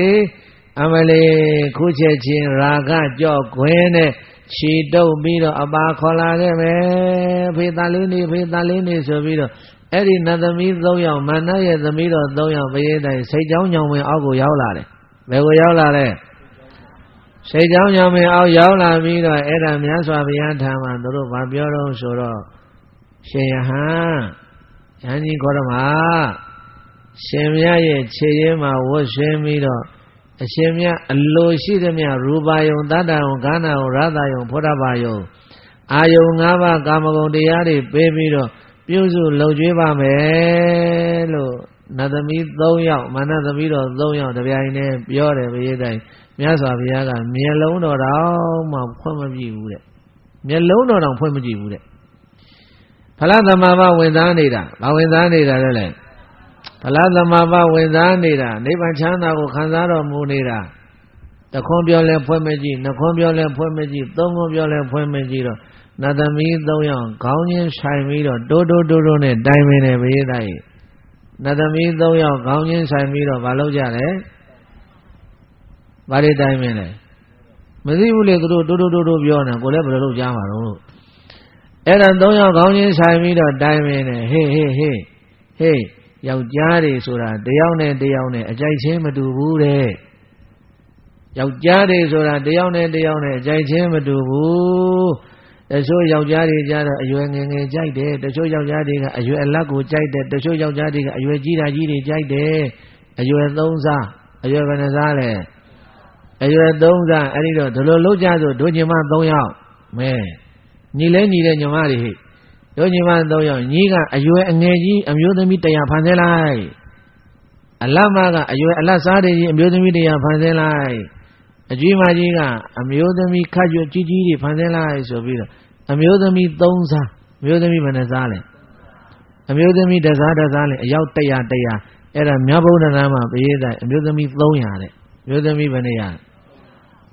အပြိုဝဝင်္ကာသအရွယ်လေးတွေကြီးတရားနည်းနည်းအပြိုအပြိုပေါက်ဖြစ်လာတာတရားအပြိုကြီးဖြစ်လာတာတရားအဲ့လိုမျိုး300 300ဖန်ဆင်းပြီးတော့အဲ့ဒီညီမ3ယောက်ဟာဘေးသတ်တွေမနတ်ရဲ့သမီး3ယောက်ဟာ အဲ့ဒါမြာဗုဒ္ဓကိုအမျိုးမျိုးအဲ့ဒီလိုဖန်ဆင်းပြီးတော့ယာကတိဟုသောကြော့ခွင်းဖြင့်ခြေနှောင်ပြီးတော့ခေါ်လာမယ်ဆိုပြီးတော့အဲ့ဒီလိုဖန်ဆင်းပြပါတော့လည်းပဲမြာဗုဒ္ဓဒီမျက်စိတောင်မဖွင့်ဘူးတဲ့မြတ်ဗုဒ္ဓမျက်စိဖွင့်လားမျက်စိမဖွင့်တော့အဲ့ဒီမှာနတ်သမီး၃ယောက်ကစိတ်တော်တော်ပြက်သွားတယ်ဟာငါတို့ဒီလောက်ဖန်ဆင်းပြီးတော့ပြတာအတန်မျိုးစုံတိခတ်ပြီးတော့မျက်လုံးတော်ဖွင့်မရှိဘူး တခါထားလျှောက်ပြန်တော့အိုယဟန်ကြီးအဲရှင်မြတ်ရဲ့ခြေရင်ဝတ်ရှင်းပြီးတော့အာယုံ၅ပါးကာမဂုဏ်တရားတွေနဲ့လုံချင်းမရစေလို့အဲ့ဒီလိုနောက်ဆုံးလျှောက်တော့မြတ်ဗုဒ္ဓကယတ္တဇီဝိတနာဝရေယတိဇိတမတ္တနောယာတိကောစီလောကေတံဗုဒ္ဓမနန္တကောစရံအပရံကေနဗဒေန နေတထာယတအကျင့်မြတ်စွာဘုရားသည်ဇိတံအောင်အပ်ပြီးသောကိလေသာကိုဇိတံအောင်အပ်ပြီးသောကိလေသာကိုနဝစီယတိတဖန်မအောင်အပ်လောကေလောက၌အတ္တထိုမြတ်စွာဘုရားဇိတံအာဝါပြီးသောကိလေသာသည်ကောစီတဆုံတခုမြနောယာတိအစင်မလိုက်အထာထိုသောဖြစ်လျက်အနန္တဂောစရံ တပ်ပိညုတညာအစွမ်းဖြင့်အဆုံးမရှိသောကျက်စားရာအာယုံရှိတော်မူထသောအဘဒံရာဂသာသောအကြောင်းမရှိထသောတံဗုဒ္ဓံထုံဖယားရှင်ကိုကေနပရိနာအဘယ်အကြောင်းကြောင့်နိတ္တတာစောင်းကုန်အန္တနီဣတိဣသောဘဂဝါဘုံ၆ပါးတခင်ဘုရားရှင်ကိုရောမြတ်ကအဘတိကောင်းစွာမသွေပြောကြားတော်မူလိုက်ပါပေ တည်းနတ်သမီးတို့တဲ့သွားကြတော့သွားကြတော့သင်တို့ဟာဘယ်ကျိုးကိုမြင်လို့ငါဘုရားရှင်ကိုရမြတ်ကိုဒီလိုဖျားယောင်သွေးဆောင်နေကြတာလဲဒီလိုလှုပ်တယ်ဆိုတာရာဂဒေါသမောဟမကင်းတဲ့သူတွေရဲ့ရှေ့မှာတော့သွားလုံးလို့ရတယ် ငါဘုရားရှင်ကိုရမြတ်ကတော့ရာဂလည်းကင်းမိပြီဒေါသလည်းကင်းမိပြီမောဟတရားတွေကိုလည်းကျင့်မဲ့ပက်တာပြီးပြီလို့မိန်တော်မူလိုက်တော့ဘုရားတိုင်မာနရဲ့သမီး၃ယောက်ငါတို့အဖေပြောတာမှန်လိုက်တာငါတို့အဖေပြောတာမှန်လိုက်တာယဟန်ကြီးခောရမကအရဟံဂုံရှင် သူကတဂုံရှင်ဖြစ်လို့သူ့ကိုရာဂနဲ့ ဖြားယောင်သွေးဆောင်လို့မလွယ်ဘူးလို့ပြောပြီးတော့ဘေးတတ်တယ်သူ့ဖခင်ကြီးမာနရှိတဲ့နေရာသမီး၃ယောက်ရောက်လာရောက်လာတော့ကုတ်ကုတ်ကုတ်ကုတ်နဲ့ရောက်လာတဲ့ကမာနကတဲခံပြီးတယ်ဟဲ့ဘယ်လိုတော့ညီတို့ဟမ်ပြောတော့တော့မိုးပြောကြိုးပြောနဲ့ယဟန်ဂေါရမအမလေးရာကဒီဘူးဆိုကြော့ပေးမြချီတောင်တုတ်ပြီးတော့အဖေးရှိရောက်လာမယ်ဆိုဘယ်နဲ့လဲညီတို့ဘယ်လိုတတ်နိုင်သေးတယ်လဲ အဖေတဲ့အဖေပြောတာမှန်တယ်ကျမတို့ယဟန်ဂေါရမလက်လျှော့လိုက်ပြီးလာပါဖေရဲ့နတ်ပြည်ပြန်ကြသို့ဆိုပြီးတော့ဘေးသားကြီးအဲ့ဒါမာနနဲ့သူသမီး၃ယောက်နတ်ပြည်ပြန်သွားကြတယ်ဘယ်ပြန်သွားလဲကဲမာနသားမိသားဖသုံးရလဲနတ်ပြည်ပြန်ဒုပရိသလည်းဘယ်ပြန်မလဲဗါတဲ့ဗါတဲ့ နတ်ပြည်ပြန်မယ်တဲ့ဥထုံးကျန်က तू ကနတ်ပြည်ရလာတာကြာနေတာပဲအင်းအင်းအင်းလှုပ်ပုံလှုပ်ပုံကောဘကနတ်ပြည်ပြန်မလို့တဲ့မပြန်တဲ့ဦးမဆုံးသေးဘူးခဏနေဦးနတ်ပြည်လဲအခုမှဗဏ္ဍတတ္တဟရှိတော့ပင်စမတတ္တဟပဲရှိသေးတယ်ဗဏ္ဍတတ္တဟရှိလဲအဲ့ဒါဘယေသားရေမြတ်စွာဘုရားသဗ္ဗလာစိတ်ကြောင်းညောင်မင်းမှာစံတော်မူနေတဲ့အခါစိတ်တော်ထဲမှာဘာကြံဖြစ်လာတော့ဆိုလို့ရှိရင်သူတော်ဘာတွေ သူတစ်ပါးကိုအယောအသေးအလေးမြမပြုဘဲနဲ့လောကကြီးမှာနေရတာဆင်းရဲတယ်ငါဖယားဘသူကိုအယောအသေးအလေးမြပြုပြီးတော့နေရပါမလဲဒီတော့တရေတိုက်ဒီနေရာလေးအာယုံပြုတော့ကိုတော်တိုင်ဖယားဖြစ်တော်မူတာတောင်မှမြတ်စွာဘုရားကလောကထဲမှာတဲ့အယုအသေးပြုတ်ရမယ်လို့ရှိပြီးနေရတာပိုကောင်းတယ်တဲ့အယုသေးပြုတ်ပြီးတော့အယုသေးပြုတ်ပြီးတော့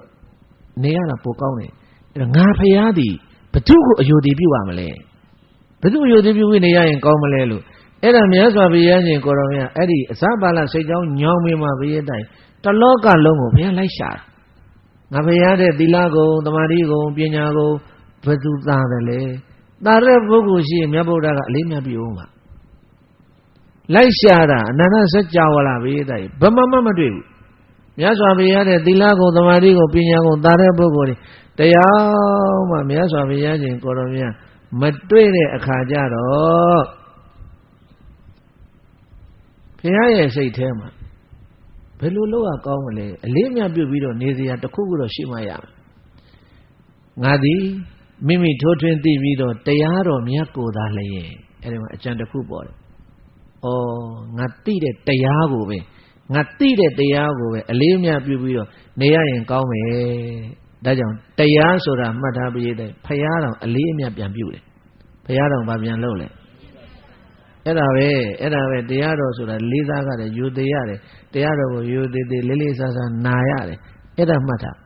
အဲ့ဒါမြတ်ဗုဒ္ဓကလောကမှာလိုက်ရှာတာငါတတိလသမารိပညာပြည့်စုံတာဘယ်သူရှိတယ်အလေးမြတ်ပြုမယ်သူမှမရှိဘူးတဲ့ မရှိတော့စိတ်ကြံနဲ့ဘာဖြစ်လာတော့ဆိုတော့ဩငါထိုးထွင်းပြီးသိတဲ့တရားကိုပဲငါဘုရားဒီအလေးမြပြုပြီးနေရရင်ကောင်းမယ်လို့အဲဒီလိုစိတ်ကြံဖြစ်နေတဲ့အချိန်မှာဘုရားတိုင်တဟံပတိမြမမင်းကြီးရောက်လာတယ်တဲ့ဘယ်သူရောက်လာတယ်လဲတဟံပတိမြမမင်းကြီးမြတ်ဗုဒ္ဓရဲ့စိတ်ကြံကိုသိလို့ချက်ချင်းမြမပြည်ကနေဆင်းလာလို့အစပါလာညောင်ဝင်ရင်းမှာဘုရားတတ်တယ်မြတ်ဗုဒ္ဓလက်အုပ်ချီမှုရှ िख ိုးပြီးတော့ ဘုံတော်ကြီးတော်မူသောမြတ်စွာဘုရားကိုတော်မြတ်ဘုရားရဲ့စိတ်အကြံကမှန်တော်မူလာပါတယ်မြတ်စွာဘုရားကရှေ့ရှေကပွင့်တော်မူပြီးသောဘုရားရှင်တို့သည်၎င်းနောက်ကိုပွင့်တော်မူမဲ့အနာဂတ်ဘုရားတို့သည်၎င်းပြစ္ဆုတ်ပန်းမှာပွင့်တော်မူတဲ့ရှင်မြတ်ဘုရားသည်၎င်းတရားတော်ကို အလေးအမြတ်ပြုပြီးတော့နေရတာကောင်းပါတယ်မြတ်စွာဘုရားယေဇအတ္တိတာသံဗုဒ္ဓယေဇဗုဒ္ဓအနာဂတ ယေစေတရဟိသံဗုဒ္ဓဘဟုနံတောကနာတနောတဗေတတ္တမကရုဏောဝိခန္တုဝိဟရန္တိသအထော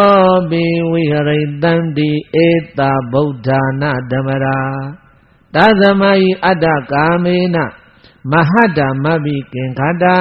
တတ္တမကရုကာတဘောတရံဗုဒ္ဓနာသာသနံ တသမဟိတသမဧဝထိုကြောင့်သာလျင်ပွင့်တော်မူပြီးတော့ဘုရားအဆူဆူလည်းပဲတရားတော်ကိုအလေးမြတ်ပြုပြီးတော့နေပါတယ်ဘုရားမပွင့်သေးတဲ့အနာဂတ်ဘုရားရှင်တွေလည်းပဲယေသတိတာသမ္ဗုဒ္ဓယေသဗုဒ္ဓအနာဂတနောင်ပွင့်တော်မူမယ်ဘုရားရှင်တို့သည်လည်းပဲတရားတော်များကိုအလေးမြတ်ပြုပြီးတော့နေကြပါလိမ့်မယ်ဘုရားယခုပွင့်တော်မူပြီးဖြစ်တဲ့ပြစ္ဆုတ်ပံဘုရားတွေကလည်းပဲ အရှင်မြတ်ဘုရားဟာလည်းပဲတရားတော်ကိုအလေးမြတ်ပြုမိတော်နေစေခြင်းပါတယ်ဘုရားတသမဟိတသမဧဝထိုကြောင့်သာလေအတ္တကာမေနအကျိုးရကြောင်းမိမိအစီပွားကောင်းကိုလိုလန်းတောင်းတာသောမဟာတံအကျိုးကြီးများပူဇော်အပ်သည်ဖြစ်ကိုအဘိကင်္ခာတတောင်းတလင်းဆိုအလိုရှိသောပုဂ္ဂိုလ်သည်ဗုဒ္ဓနံဘုရားရှင်တို့၏သာသနာသုံးမသိခာသာသနာတော်မြတ်ကိုတရံတရံတေနာအောက်မိသည်ဖြစ်၍ တတ္တမောသူရကောင်းတို့၏ဥစ္စာတရားယရနာကိုကရုကာတဘောယောတိကစီနေညင်မိ၍ကြောက်ထီတန်တူအလေးပြုအပ်ပါပေသည်လောအဝေါ်ရှာရွှေနေတော်ကြံအောင်ကောင်းစွာမသွေလျောက်ထားလိုက်ပါပေတော့တည်း အဇဘာလညောင်းမင်းရင်းမှမြတ်ဗုဒ္ဓသည်တရားတော်ကိုလေးမြတ်ပြုမိတော်နေတော်မူတဟပတိမြမမင်းကြီးတရားတော်ကိုအလေးမြတ်ပြုပြီးတော့နေတော်မူစေခြင်းပါတယ်ဖះလို့ရှောင်ထားတဟပတိမြမမင်းမြမပြည်ပြန်သွားတယ်အဲ့ဒီအဇပါလညောင်မင်းရင်မမြတ်ဗုဒ္ဓတရားတော်ကိုအလေးမြတ်ပြုပြီးတော့နေတော်မူသွားတာ9ရက်ဘယ်နှရက်လဲဒါကြောင့်လေဒီဆရာဘုရားက9ချိန်မြောက်တာတတ္တဟတွင် ဘောဓိပင်မှရှေးခွင်ပြုတ်ပါယတ္တိသာဝဲကြီးစွာမြင့်ခေါင်စိန်ကြောင်းညောင်၌ဘုံခေါင်ပရမေစံပဲနေသည်ယောသေးမြန်တို့ဝယ်ပြီကိုလို့တတ္တဌာနဘုရားရှိခိုးမှာဆက်ဆိုတော်မူခဲ့တယ်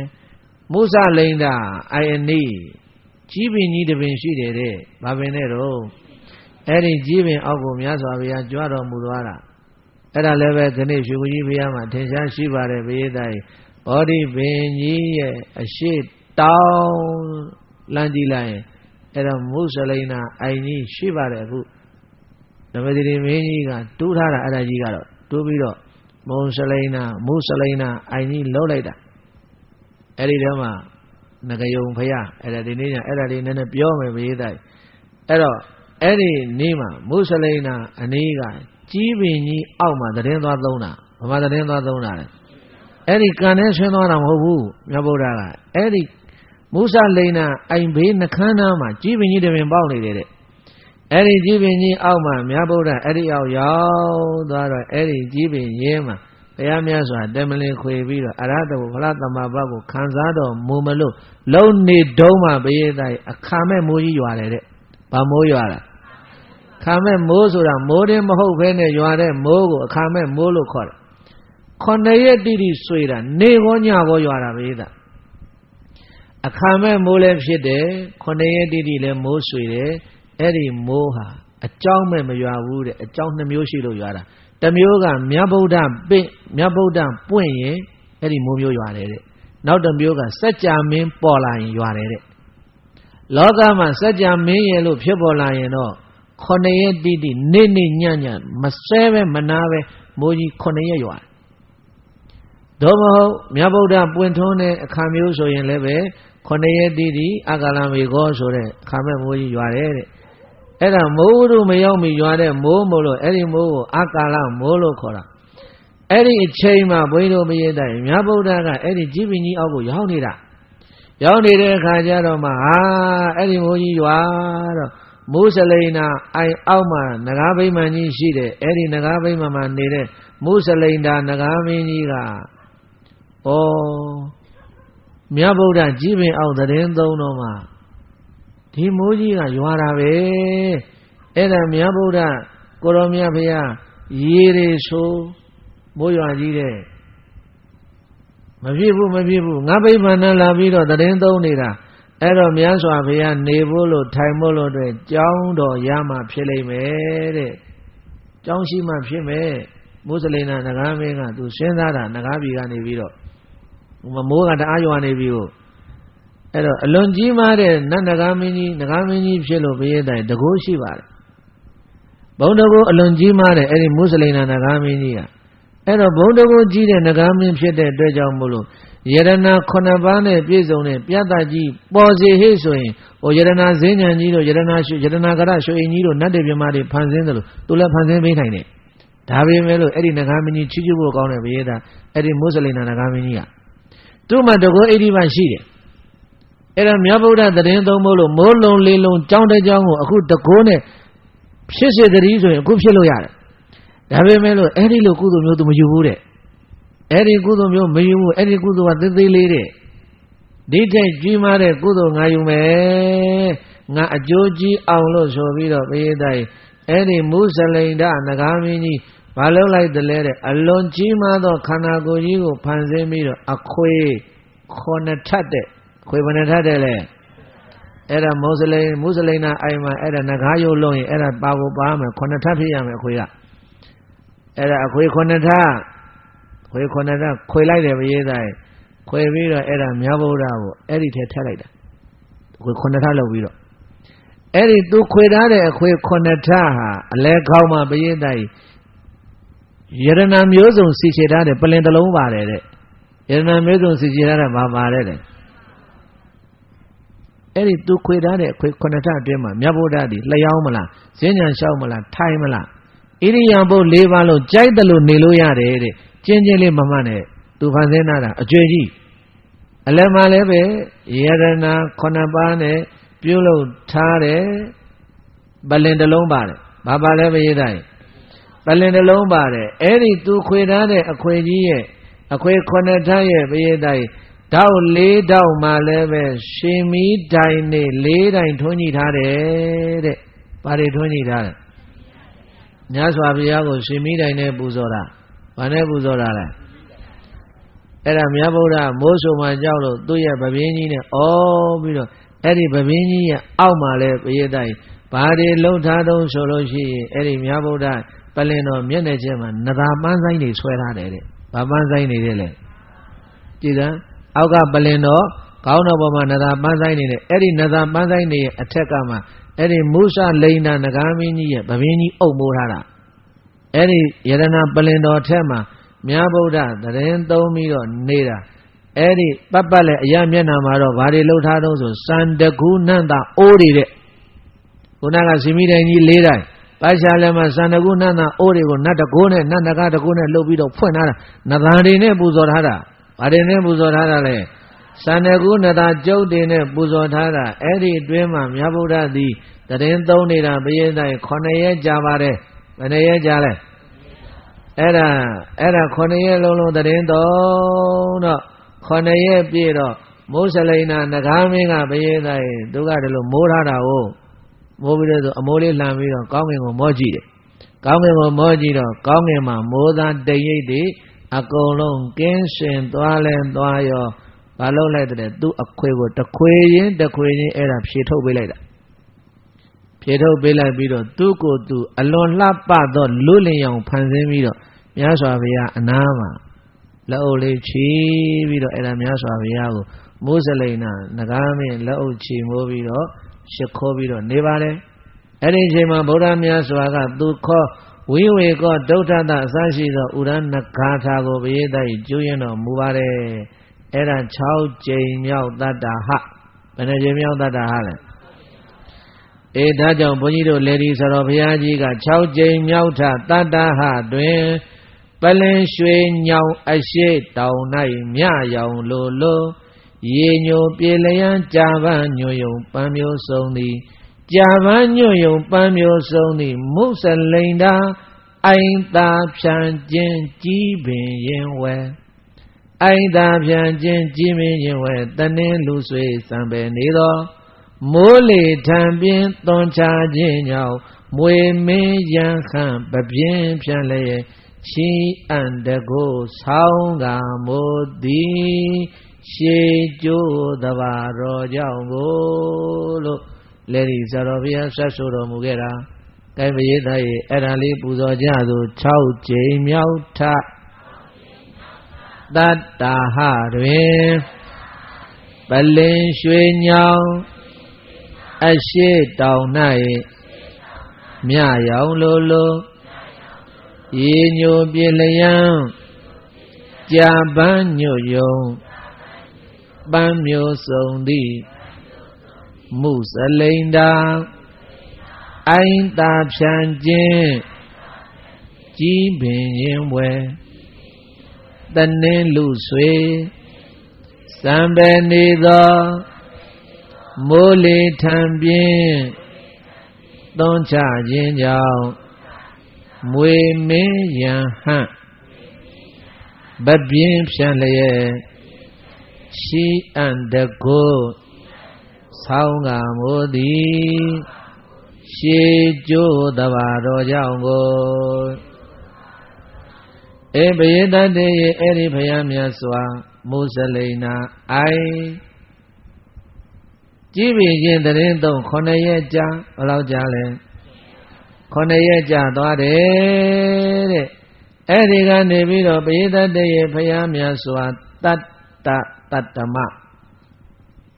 တတ္တတတ္တမဆိုတော့9ရက်ယာဇာယရဏတတ္တဟဘာတတ္တဟလဲယာဇာယရဏတတ္တဟယာဇာယရဏတတ္တဟကြည်ပင်ရင်ကနေခွာ ဘောဓိပင်ကြီးရဲ့တောင်မျက်နှာဘောဓိပင်ကြီးရဲ့တောင်မျက်နှာမှာပရိသတ်တွေသစ်ပင်ကြီးတပင်ရှိတယ်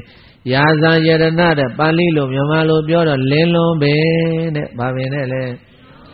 လင်းလွန်ပင်ကိုဘုရားမြတ်စွာကြွတော်မူသွားတယ်အဲ့ဒီလင်းလွန်ပင်အောက်မှာလည်းပဲဘုရားမြတ်စွာတမလီခွေတဲ့သုံးတော်မူပြီးတော့ခொနည်းစံတော်မူတယ်ခொနည်းပြည့်ဖလားသမဘာကထအဲ့ဒီနေ့ကဝါဆိုလာဇန်9ရက်နေ့ ဝါဆိုလာဇန်မနေ့ရက်လဲဒါဘုန်းကြီးတို့ပြေးတာနောက်ဆုံးစံတော်မူတဲ့ယာဇာယရဏတတ္တဟဆိုတာအဲ့ဒါနောက်ဆုံးစံတော်မူတာအဲ့ဒါလင်းလုံးမင်းအောက်မှာခொနရက်ဗလာသမဘဘုချမ်းသာခံစားတော်မူပြီးတော့ခொနရက်ပြီးတော့အဲ့ဒီသမဘကထတော့အဲ့ဒီနေ့ကမှတ်မှတ်ရရပရိသတ်ဝါဇုလသ9ရက်နေ့ဖြစ်သွားပြီကစုံလာပြီးတော့တရက်နေ့ကနေစံတော်မူနေလိုက်တာအဲ့ဒီဘောဓိပင်ပတ်ချလဲမှာ အဲ့ဒါရာဇာယကလင်းလုံးမင်းအောက်ရောက်49ရက်ပြေးတော့မြတ်ဗုဒ္ဓဝါဇုလသ9ရက်နေ့ကြာတော့အဲ့ဒီမှာမြတ်စွာဘုရားကအော်မျက်နာလဲဖះ49ရက်လုံးမသိဘူးခံတွင်းလည်းမရှိဘူးရေလည်းမချိုးဘူးဆွန်းလည်းမဖုံးပေးဘူးကျင်ကြီးကျင်ငယ်လည်းမစွန့်ဘူး49ရက်ဘယ်နည်းရတုံးမရေးတိုင်း အဲ့တော့49ရက်လုံးလုံးအဲ့ဒါမြတ်ဗုဒ္ဓအဲ့ဒီကိစ္စတွေဘာမှမလုပ်တော့ဘုရားမြတ်စွာဘယ်လိုဖြစ်တဲ့စိတ်တော်တဲ့ခံတွင်းဆေးတော်မူခြင်းနေတဲ့မျက်နှာလည်းတက်တော်မူခြင်းနဲ့တဲ့အဲ့ဒီလိုမြတ်ဗုဒ္ဓစိတ်တော်ထဲမှာဖြစ်တော်မူတဲ့အကြံကိုပရိသတ်တရေဘသူသိသွားတော့ဆိုတရားမင်းသိသွားတယ်ဘသူသိသွားလဲတရားမင်းကြီးတည်သွားတဲ့အခါကျနတ်ပြည်ကနေဆင်းလာပြီးတော့မြတ်စွာဘုရားရှင်ကိုရောမြတ်ကိုပရိသတ်ကျဆူသီးတဲ့ ဆေးလုံးလေးပါလာဘယ်နဲ့ဘုရားမျက်နှာတော်သိရှင်နဲ့မျက်နှာတော်သိရှင်နဲ့ခံသွင်းတော်ဆေးခြင်းနဲ့ဆိုတာဘာဖြစ်လို့ဒီဆေးလာကတ်တာတော့ဆိုတော့အကြောင်းရှိတယ်ဘုရားတိုက်49ရက်လုံးလုံးမြတ်စွာဘုရားရဲ့ခန္ဓာကိုယ်ထဲမှာအောင်းနေတာအညစ်အကြေးတွေအပေါ့အလေးတွေ49ရက်လုံးလုံးမြတ်စွာဘုရားဝန်းတော်မသွားဘူးလေချင်းကြီးချင်းငယ်မစွန့်ဘူးလေဆုံးမပုံမေးဘူးလေတော့ဟိုသူဇာတာလှူလိုက်တဲ့ခဏနှုတ်စွမ်း သူဇာတာလှူလိုက်တာဗါတဲ့တော့အဲ့ဒီခဏနှုတ်စွမ်း49လုံးမယုံမလွေဖုံးပြီးပြီးသည့်နောက်မှာညဗုဒ္ဓတိဘာဆုံးမှဖုံးတော်မူဆိုတော့49ရက်လုံးလုံးဒီဘောဓိပင်ပတ်ရှာလမှာသတင်းသုံးနေတော်မူတာအထဲထဲမှာစားထားတဲ့အစာအာဟာရတွေကဘုန်းကြီးတို့ပြီးအညစ်အကြေးတွေဖြစ်နေတာစားပြီးတဲ့အညစ်အကြေးတွေ49ရက်လုံးအောင်းနေတာမြတ်ဗုဒ္ဓရဲ့ဝမ်းထဲမှာအဲ့ဒါတွေကိုမလုပ်ရမလဲတရားမင်းက အဲ့ဒါနတ်ပြည်ကနေပြီးတော့ပိဋကဂျစုနီးရှေးမြတ်စွာဘုရားကိုလာပြီးတော့ရှေးကတ်တာအဲ့ဒီရှေးကိုဖုံးပြီးပြီးတဲ့တပြိုင်နက်တည်းမြတ်ဗုဒ္ဓရဲ့ခန္ဓာကိုယ်ထဲမှာ49ရက်လုံးလုံးအောင်းနေတဲ့အညစ်အကြေးတွေကျင်ကြီးကျင်ငယ်တွေအကုန်လုံးပိဋကရဲ့အဲ့ဒါဒီနေ့ခေတ်စကားနဲ့ပြောနေမြတ်စွာဘုရားကုရီသွားတော်မူတယ်ပေါ့အပေါ့အလေးမြတ်စွာဘုရားခန္ဓာကိုယ်ဝင်းအရင်တန့်ရှင်းတော်မူတယ်အဲ့ဒါရှေးကတရားမင်းလက်ကတ်တာ ယနေ့ခေတ်စကားနဲ့ပြောတော့ဝနှုတ်ရှေးခေါ်မလားပေါ့နော်ဇာတဲ့တော့ဂျစုတိရှေးလို့ပြောတယ်အဲ့ဒါတရားမင်းလက်ကတ်တာဇာထဲမှာတော့တတိရတတိရဝလင်စနကိစ္စမြတ်စွာဘုရားပြီးတော်မူသွားတယ်တဲ့ခန္ဓာကိုယ်တန့်ရှင်းတဲ့ကိစ္စပေါ့အဲ့ဒါမြတ်စွာဘုရားပြီးတော်မူတော့အဲ့ဒီချိန်မှာမြတ်ဗုဒ္ဓကိုဘေးတိုင်မျက်နှာတော်သိဖို့လို့မျက်နှာသိရတရားမင်းကပဲကပ်ပါတယ်ဘယ်ကသွားခတုံးဆိုအနောဒရအိုင်ကတဲ့ဘယ်ကသွားခလဲ အနောဒရအိမ်ကရေအဲ့ဒါမြတ်ဗုဒ္ဓကမြတ်စွာဘုရားမျက်နှာသက်တော်မူတယ်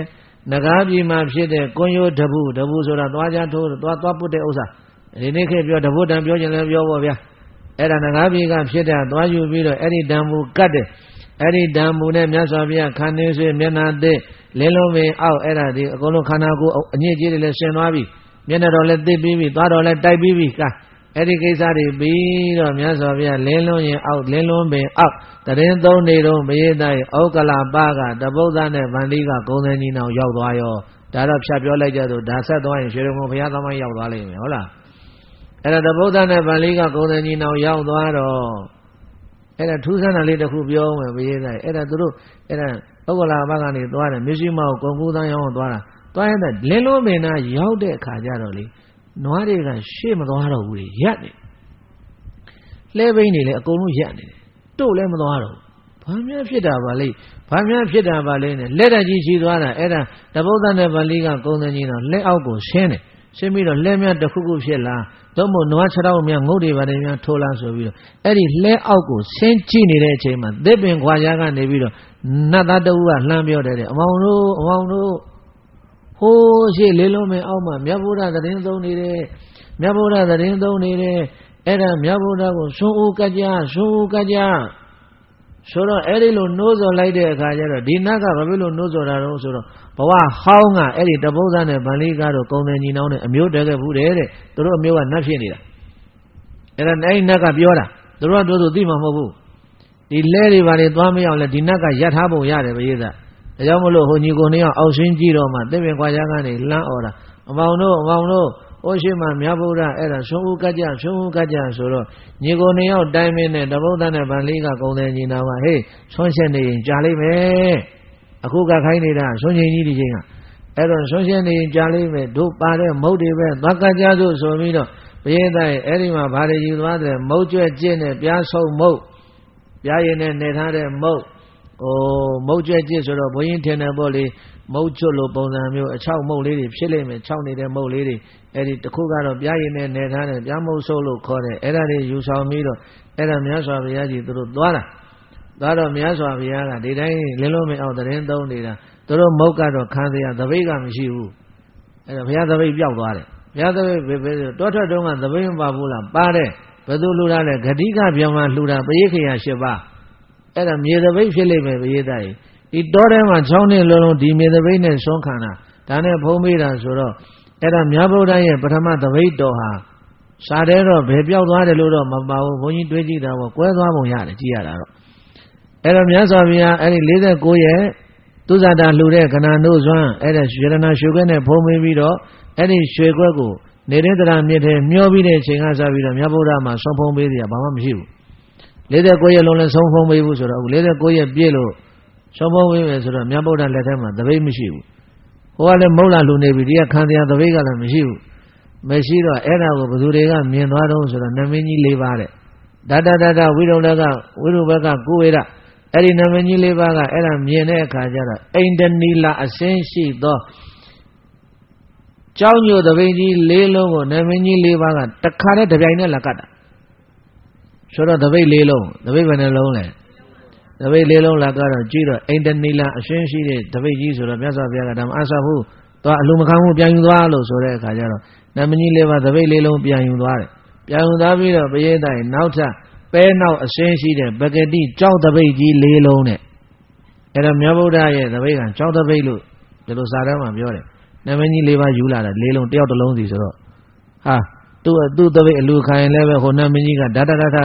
စိတ်ဆိုးမယ်ဒါရဒသပိတ်အလူခံနေဝိရုပက္ခကစိတ်ဆိုးမယ်ဝိရုပက္ခကအလူခံလို့ရှိလို့လို့ရှိရင်ဟိုနမကြီးတွေစိတ်ဆိုးမယ်ကုဗေဒကစိတ်ဆိုးမယ်ဆိုတော့အဲ့ဒါမြတ်ဗုဒ္ဓကမလုပ်လိုက်တော့ပြည့်တယ်သပိတ်လေးလုံးလုံးအလူခံပြီးတော့လက်ဘဝတော်ပေါ်မှာသပိတ်လေးလုံးကိုထပ်လိုက်တာထပ်ပြီးတော့အောက်ကလက်ဘဝတော်တစ်ခုခံထားတယ်အဘောကအဲ့ဒီသပိတ်လေးလုံးကိုလက်ဝါးနဲ့ဖိချလိုက်တာပြည့်တယ်သပိတ်တစ်လုံးနဲ့ဖြစ်သွားတယ်အနာက၄ရည်ရှိတယ်တဲ့အနာကဘယ်နှရည်လဲနမကြီးလေးပါလှူထားတာမို့အနာ၄ရည် တပိတ်တော်ကတော့တလုံးနဲ့ဖြစ်သွားတယ်လေးလုံးလုံးကိုထပ်ချပလိုက်တာလက်နဲ့ဖိပြီးတော့အဲ့ဒီတပိတ်တော်နဲ့မြတ်ဗုဒ္ဓဘာလို့တလဲအဲ့ဒီတပုဒ္ဒနဲ့ဗလိကတို့လှူတာတွေကိုအဲ့ဒါများစွာဘုရားဖုံးမေးတော်မူတယ်ဖုံးမေးတော်မူပြီးတော့အဲ့ဒီမှာတပုဒ္ဒနဲ့ဗလိကကုံတယ်ညီနောင်တို့ကအဲ့ဒါမြတ်စွာဘုရားထံမှာအေတေမယံဗန္နေဘဂဝန္တံတရဏံကိစ္စမဓမ္မင်းစဒွေဝါစိကတရဏဂုံတဲ့အဲ့ဒီချိန်မှာတန်ခါယရဏမပေါ်သေးလို့တရဏဂုံနှစ်ပါးတည်းခံယူသွားတာ တရဏဂုံဘယ်နှပါးလဲဧတေမယံဗန္နေဘဂဝတ္တတရဏံကိစ္ဆာမဓမ္မင်းစာတပိတော်တို့သည်မြတ်စွာဘုရားကိုကိုးခွင့်ရဟု၍စိကပါတယ်ဗျာဓမ္မင်းစတရားတော်ကိုလည်းပဲတရဏံကိုယ်ဝေယဟူပြီးတော့ကိစ္စမှာရှိကကြပါတယ်မြတ်စွာဘုရားလိုအဝေါ်ဆုံးကောင်းစွာမသွေလျောက်ထားလိုက်ကြပေကုန်မည်တကား အေးဘယေတတေအဲ့ဒီမှာတပုဒ္ဒနဲ့ဗန္လိကကုံနေညီနောင်တို့မြတ်စွာဘုရားဓမ္မသူတို့ဘာတရားမှလည်းဟောလို့မရဘူးဘာလဲမိဂရာဝတောမဓမ္မစကြာတရားမဟောရသေးလို့ဓမ္မစကြာမဟောရသေးခင်ဘယ်သူကမှသစ္စာတရားဟောလို့ဘယ်သူမှမသိနိုင်ဘူးလေဒါကြောင့်အဦးဆုံးမြတ်ဗုဒ္ဓကိုဆုံးဦးကလိုက်ရတာတဗုဒ္ဓနဲ့ဗန္လိကဂုံနေကြီးနောက်ဘယ်ကသွားတာလဲဥက္ကလပကတဲ့ အဲ့ဒါမြန်မာနိုင်ငံသားတဲ့ဒါကြောင့်မြန်မာနိုင်ငံသားတွေကဆုံးဦးဆန္တော်ဦးသူတို့တောင်းတယ်မြတ်ဗုဒ္ဓမြတ်စွာဘုရားတပည့်တော်တို့အမြဲရှိကကိုယ်ပဲပူဇော်ဖို့လို့ဝတ္ထုပစ္စည်းတစ်ခုခုပေးပါဗျာသူတို့ကဆံတော်ရည်လို့တောင်းတာမဟုတ်ပါဘူးသူတို့တောင်းတော့ကတပည့်တော်တို့အမြဲမပြတ်မြန်မာပြည်ရောက်တဲ့အခါမှာကိုယ်ပဲရှိကပူဇော်ဖို့လို့အရာဝတ္ထုပစ္စည်းတစ်ခုခုတော့ ရှင်ဘုရားပေးသနာရင်ကောင်းမယ်ထင်တယ်ဗျာပေးသနာတော်မူလိုက်ပါဗျာလို့အဲ့ဒီလိုမြတ်စွာဘုရားထံမှာတို့ကိုးကွယ်ဖို့လို့ပူဇော်ဖို့လို့တောင်းတဲ့အခါမှာမြတ်ဗုဒ္ဓသည်ညာလက်တော်ဖြင့်ဥကောင်းတော်ကိုသုံးသပ်လိုက်တဲ့အခါမှာဘေးတဲ့ဆံတော်တွေပါလာတယ်တဲ့အဲ့ဒီဆံတော်တွေကိုတပုဒ္ဒနဲ့ဗန္လိကကုံတယ်ကြီးနောင်ပေးတို့ပြန်ရောက်တော့ပောက်ခရဝရီမြို့မှာဘေးတဲ့ဆံတော်တွေကိုဓာတ်တော်ကျုပ်တွင်းထည့်ပြီးတော့ စေတီတီထားကိုးကွယ်တယ်တဲ့အဲ့ဒီစေတီကဂဏိရွှေရကုံဘုရားလို့ခေါ်ပါတယ်ဘေးတဲ့ကဲပြီးပါပြီတတ္တဌာနစံတော်မူအဲ့တော့ရှင်မယရှင်မယတပည့်တော်တို့မြတ်စွာဘုရားစံတော်မူတဲ့လင်းလုံးပင်ရာဇာယတနာတတ္တဟရှိပါတယ်မရေးသားရေဟောဒီဘုန်းကြီးတို့ယူကူကြီးဘုရားထဲမှာပဲအဲ့တော့ဘုန်းကြီးတို့ဘဘိုးမျိုးဟာ ဒီဓမ္မတိမင်းကြီးရဲ့ကောင်းမှုတော့နော်ဗုဒ္ဓဂါယာကအတိုင်းသွားယူပြီးတော့တည်ထားတဲ့ဒီတတ္တဌာနဗုဒ္ဓဂယာမဘောဓိစေတီတော်ကြီးဟာနှစ်ပေါင်းများစွာနှစ်900ကျော်ပြိုကျပြည့်စည်နေတာအဲ့ဒါပြန်လဲဖော်ထုတ်မဲ့လူမရှိလာပြီးတော့နိုင်ငံသားတွေကစလေးလာမဲ့လူမရှိတာကဘာကြောင့်လို့ဆိုရင်အဲ့ဒါလမ်းမตาလို့ပဲအခုတော့ဒီလမ်းကိုตาအောင်ဒီလမ်းကောက်အောင်ဒီလမ်းပွင့်အောင်ဆောင်ရွက်ပေးခြင်းအဖြစ် သွမ်းဆန်နေတဲ့ပုဂ္ဂိုလ်များပေါ့လမ်းကတပိုင်းတည်းဖြစ်နေလို့ဒီနေ့ဒါလမ်းအတွက်ရည်ရွယ်ပြီးတော့ဟောတဲ့တရားပဲဟုတ်တယ်မဟုတ်လားလမ်းတဲ့ရွေဟောတဲ့တရားဆိုတော့အဲ့ဒါလမ်းလှူဒါနနဲ့ပတ်သက်လို့လည်းပဲဘုန်းကြီးတို့ပြောခဲ့ပြီးပါပြီအဲ့တော့ဒီလမ်းကြီးအများဆုံးပြီးမြောက်အောင်ဆောင်ရွက်ပေးခြင်းအပြင်ဒီဘုရားကြီးကိုလည်းဖွင့်ပေးရရောက်ပါတယ်စွမ်းဆိုင်နိုင်တဲ့ပုဂ္ဂိုလ်များလည်းပဲယခုဘုန်းကြီးပြောခဲ့သောတတ္တဌာနစံတော်မူပုံတွေကိုအဲ့ဒါအာယုံရအောင်ယူပြီးတော့ ငါတို့တော့အနိမိတ်ကုံလေးလှူလိုက်ရရင်ကောင်းမယ်ထင်တယ်ငါတို့တော့ဗောဓိပင်လှူရရင်ကောင်းမယ်ထင်တယ်ငါတို့တော့ရွှေပလင်လှူရရင်ကောင်းမယ်ထင်တယ်မုံစလိန်နာမုစလိန်နာအိုင်ကတော့ဘုရားရွှေပြီးသားမို့လို့နောက်စင်ကမတတ္တဟစင်ကမတတ္တဟလည်းပြန်လို့ရင်ကောင်းမယ်ထင်တယ်အဲ့ဒါဘုန်းကြီးဆန္ဒရှိနေတာကလေအဲ့ဒီမှာကြောက်စာတွေကြောက်စာတွေရိုက်ပြီးထူဖို့ကောင်းတယ်ဒါဘာနေရဒါဘာနေရဒါဘာနေရဆိုတာအခုမနေ့ကဘုန်းကြီးရောက်ခဲ့တယ်စိတ်ကြောင်းညောင်ဝင်နဲ့ဆိုင်းမိုးကြီးကဇောက်ထိုးဖြစ်နေစိတ်ကြောင်းညောင်ဝင်ကအဲ့ဒါဘယ်လိုတွေဖြစ်ကုန်လဲတော့မသိဘူး မမကကြောက်စာနဲ့ဘာနဲ့ဒီလိုကိုထောင်နှမ်းမှာအတော့ကမင်းကြီးကြောက်စာတိုင်ဆိုင်တယ်လို့အဲ့လိုကိုစိုက်ပြရမှာအဲ့ဒါဘဂိုးသားတို့မော်ကြွားနိုင်တဲ့နေရာတစ်ခုထင်ရှားရှိနေတဲ့သားထဲမှာဒါကြီးပြန်မဖော်ထုတ်နိုင်ဘူးဆိုရင်တော့ဘဂိုးသားတွေညံ့တာပဲပရိသတ်ကြီးနော်အဲ့ဒါအညံ့မခံကြီးဒီဘုရားကြီးလည်းပြန်လဲပြီးတော့တတ္တဌာနပြန်ပြီးတော့ခေါ်နိုင်ရင်ကောင်းပါတယ် ဒါကဒုတိယအရှင်မောပရိသတ်ကြီးပထမဆင်းကတော့ဒီဘုရားကြီးကိုအများပြည်သူသိအောင်အဲ့ဒါသွားလာဖို့လွယ်ကူအောင်လမ်းလှူတဲ့အလှူမှာအဲ့ဒါဒီနေ့ညဘုန်းကြီးတို့တရားကောင်းစဉ်လေးပြောင်းပြီးတော့တတ္တဌာနတူမြစံကြီးခန္ဓာဝတိဆိုတဲ့တရားကောင်းစဉ်ပေးပြီးတော့ဟောပါတယ်လို့ကိုင်းပရိသတ်ရေဆိုလိုက်ကြစို့ခာတတ္တမတတ္တဟတွင်ဘောဓိပင်မ တောင်ပြင်လက်ရာမြေမြက်နာဝဲရာဇာယရဏမိယခေါ်တွင်လင်းလုံးပင်၌တပ်ပင်ညုဖြာပျော်စံစားသည်ကြီးမာညံတော်ဖွင့်လို့ကိုခာတတ္တမတတ္တဟတွင်ဘောဓိပေမတောင်ပင်လဲရာ ဘောဓိပေမတောင်ပင်လဲရာမြေမျက်နာဝဲရာဇာယရဏမြေယာခော့တွင်လင်းလွန်ပင်၌တပိညူဖြာပြောစံစားသည်ကြီးမာညံတော်ဖွင့်လို့ကိုဆိုလိုက်ပါထိုခုနှစ်ပါးအယများကိုရှေ့သွားတရာကြီးညိုစွာလျင်ဝန္ဒနာမာန ဂါရဝဖြင့်ဥချညိုကြိုးကျွန်ရှိခိုးသည်ကောင်းကြိုခသိမ့်ကြွယ်စေသောထိုခုနှစ်ပါးအယများကိုရှေ့သွားသရာကြီးညိုစွာလျင်ဝန္ဒနာမာနဂါရဝဖြင့် ဥချညိုကြိုးကျွန်ရှိခိုးသည်ကောင်းညိုခသိမ့်ကြွယ်သေးတော်ဘာဂတိနမကေပေကုဟိတယသဗ္ဗပါဏိနံတတ္တဌာနေမုနယောရာစုပိတုကတဝရာပါကတိဟန္တာဝတိစန္ဌာနိဟုမြန်ပြီးမဆံကဘာနှအောင် အလွန်လဲထင်ရှားလဲထင်ရှားပိထသောဘေကုနာမကေတိုင်းကြီးဒေသ14ဝါတွင်တကုကြီးမှမြတ်ဖရာတို့ဖြင့်တည်ထားကိုယ်ွယ်လွန်တင့်တယ်သည့်နာမီကဲထုမျိုးပဲကု၌တဗ္ဗပါဏိနံခတ်သိမ်းများစွာတတ္တဝါတို့ဤဟိတာယလောကဓမ္မနထာနာတို့ဖြင့် တိုးတက်ကြီးပွားကြပါစေခြင်းကြိုးငါဝရအမြတ်တကတိုးတက်အမြန်ဆုံးလည်းဖြစ်တော်မူပါပေထသောတတ္တထာနေဟိမုနယော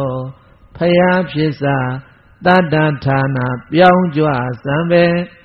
ပြောင်းကြွစံပဲပုံစံငယ်ကိုနိယုတိကြမိန်တော်ဟ၍ဗုဒ္ဓဂယာမြေမဟာမပုံစံအတိုင်း မဆိုင်တိထတတ္တဌာနာဘုရားတို့ကို ရာဇူပိမြန်မာတိုင်းပေါင်းသာဝရသမိုင်းပြောင်းအောင်ရာဇဝင်ထင်ရှားဓမ္မစီရိစသောမင်းအများတို့သည်ဒုက္ကတံလောကသန္တရာနှပြပွားတို့အကျိုးနိဗ္ဗာန်ဤစိတ်တန်၍လောကသန္တရာနှပြပွားတို့အကျိုးနိဗ္ဗာန်ဤစိတ်တန်၍ကောင်းစွာချီးမြှောက်အပိရောက်အောင် တိဆောက်ကိုးကွယ်တော်မူကြလေကုန်မည်တကားဆိုလိုက်ပါပရိသတ်ဤတတ္တဌာနဗုဒ္ဓသံမိအာသောကမင်းမယွင်တူညီပုံစံအတိုင်းမဆိုင်ယူပြီး ဟန်တာမျိုးမချို့တယ်တော်မီရှင်လေးတစ်နှစ်ရောက်လင်ချိန်ခါတတ္တဌာနဗုဒ္ဓဆံယာမြမမြေမဗုဒ္ဓဂယာပုံစံတိုင်းမဆိုင်ပေါ်ထွက်လာ အမြအကျိုးသေးဖို့ဆောင်မီမင်းမြတ်ခေါ်ရဓမ္မစေတီကိုယ်တိုင်တည်ထားဖရာစေတီဘကိုးသာမောကြွားနိုင်ခဲ့ပြီရှေးရခင်ကဗုဒ္ဓဆံဘုံ တတ္တဌာနဩချမကုံဘဂုသာတို့မောကြွားနိုင်ပုံယနေ့ကြမြင်ရပြိုပြက်ပုံပြိုပြက်နေ냐ဖရာစေရီတွေးမြင်နေရဓမ္မစေတီ ငါတေဖရာပြထားကြပြီစိတ်တော်တဲ့မလွဲဖြစ်လိမ့်မည်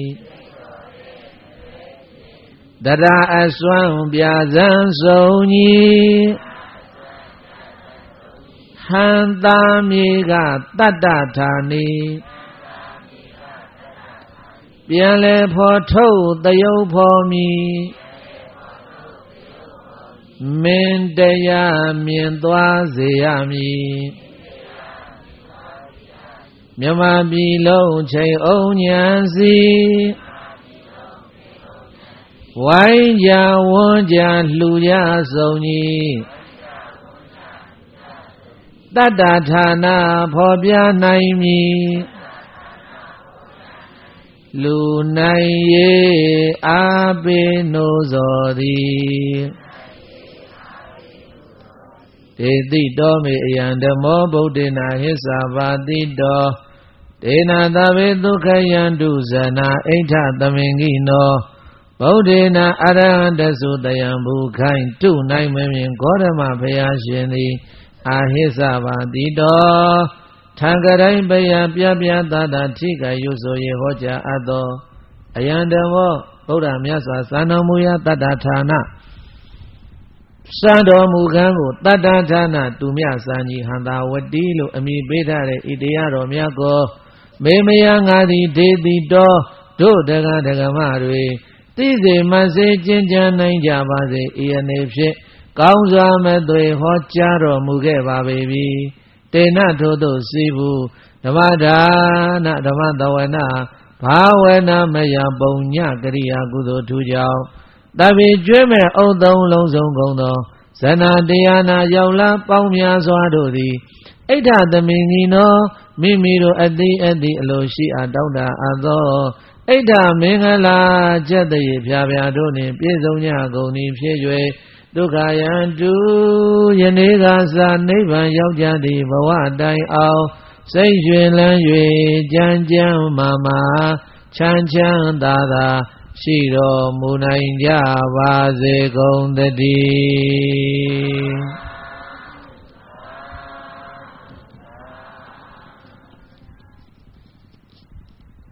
ဓမ္မဘူဇာအစီအစဉ်ပါဗျာဒီနေ့ညကျတော်ဘုရား၏ဓမ္မကဏ္ဍတရားဖြင့်ဒီမှာလူတော်တွေကျက်နာ တော်ဘုရားနာပရိသတ်ပေါင်းမှာဓမ္မဘူဇာလူတော်တွေ၅သိန်း2500ကျက်သူစုပေါင်းဓမ္မဘူဇာလူတော်တွေကျက်9သိန်းတို့ဟာနာယကကြီးဥဒ္ဓကြိုင်မှာ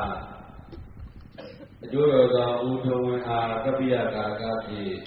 လူရန်ဘုဒ္ဓဘာတိဗျာဒီနေ့ညတရားနာပရိသတ်ဘောတော်တို့အားအာဟာရဒါနဖြင့် ဒေါ်ထေးနှင့်စေနာရှင်များမှကောင်းခြင်းပေါင်းအာဟာရဒါနလူရန်ဘုဒ္ဓဘာတိဗျာဘုဒ္ဓသိဥညရှင်မိသားစုများမှလုတ်တဲ့ခွာအကျိုးရည်ဖြင့်လူရန်ဘုဒ္ဓဘာတိဗျာ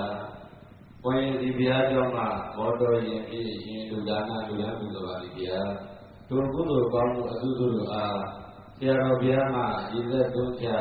အမြပေးဝေတော်မူလေးပါရဲ့ဘုရားပြည်တော်မှာခြေတော်တော်ဘုရားကြီးလူကြီးစွာတော်ထပါစီဟာ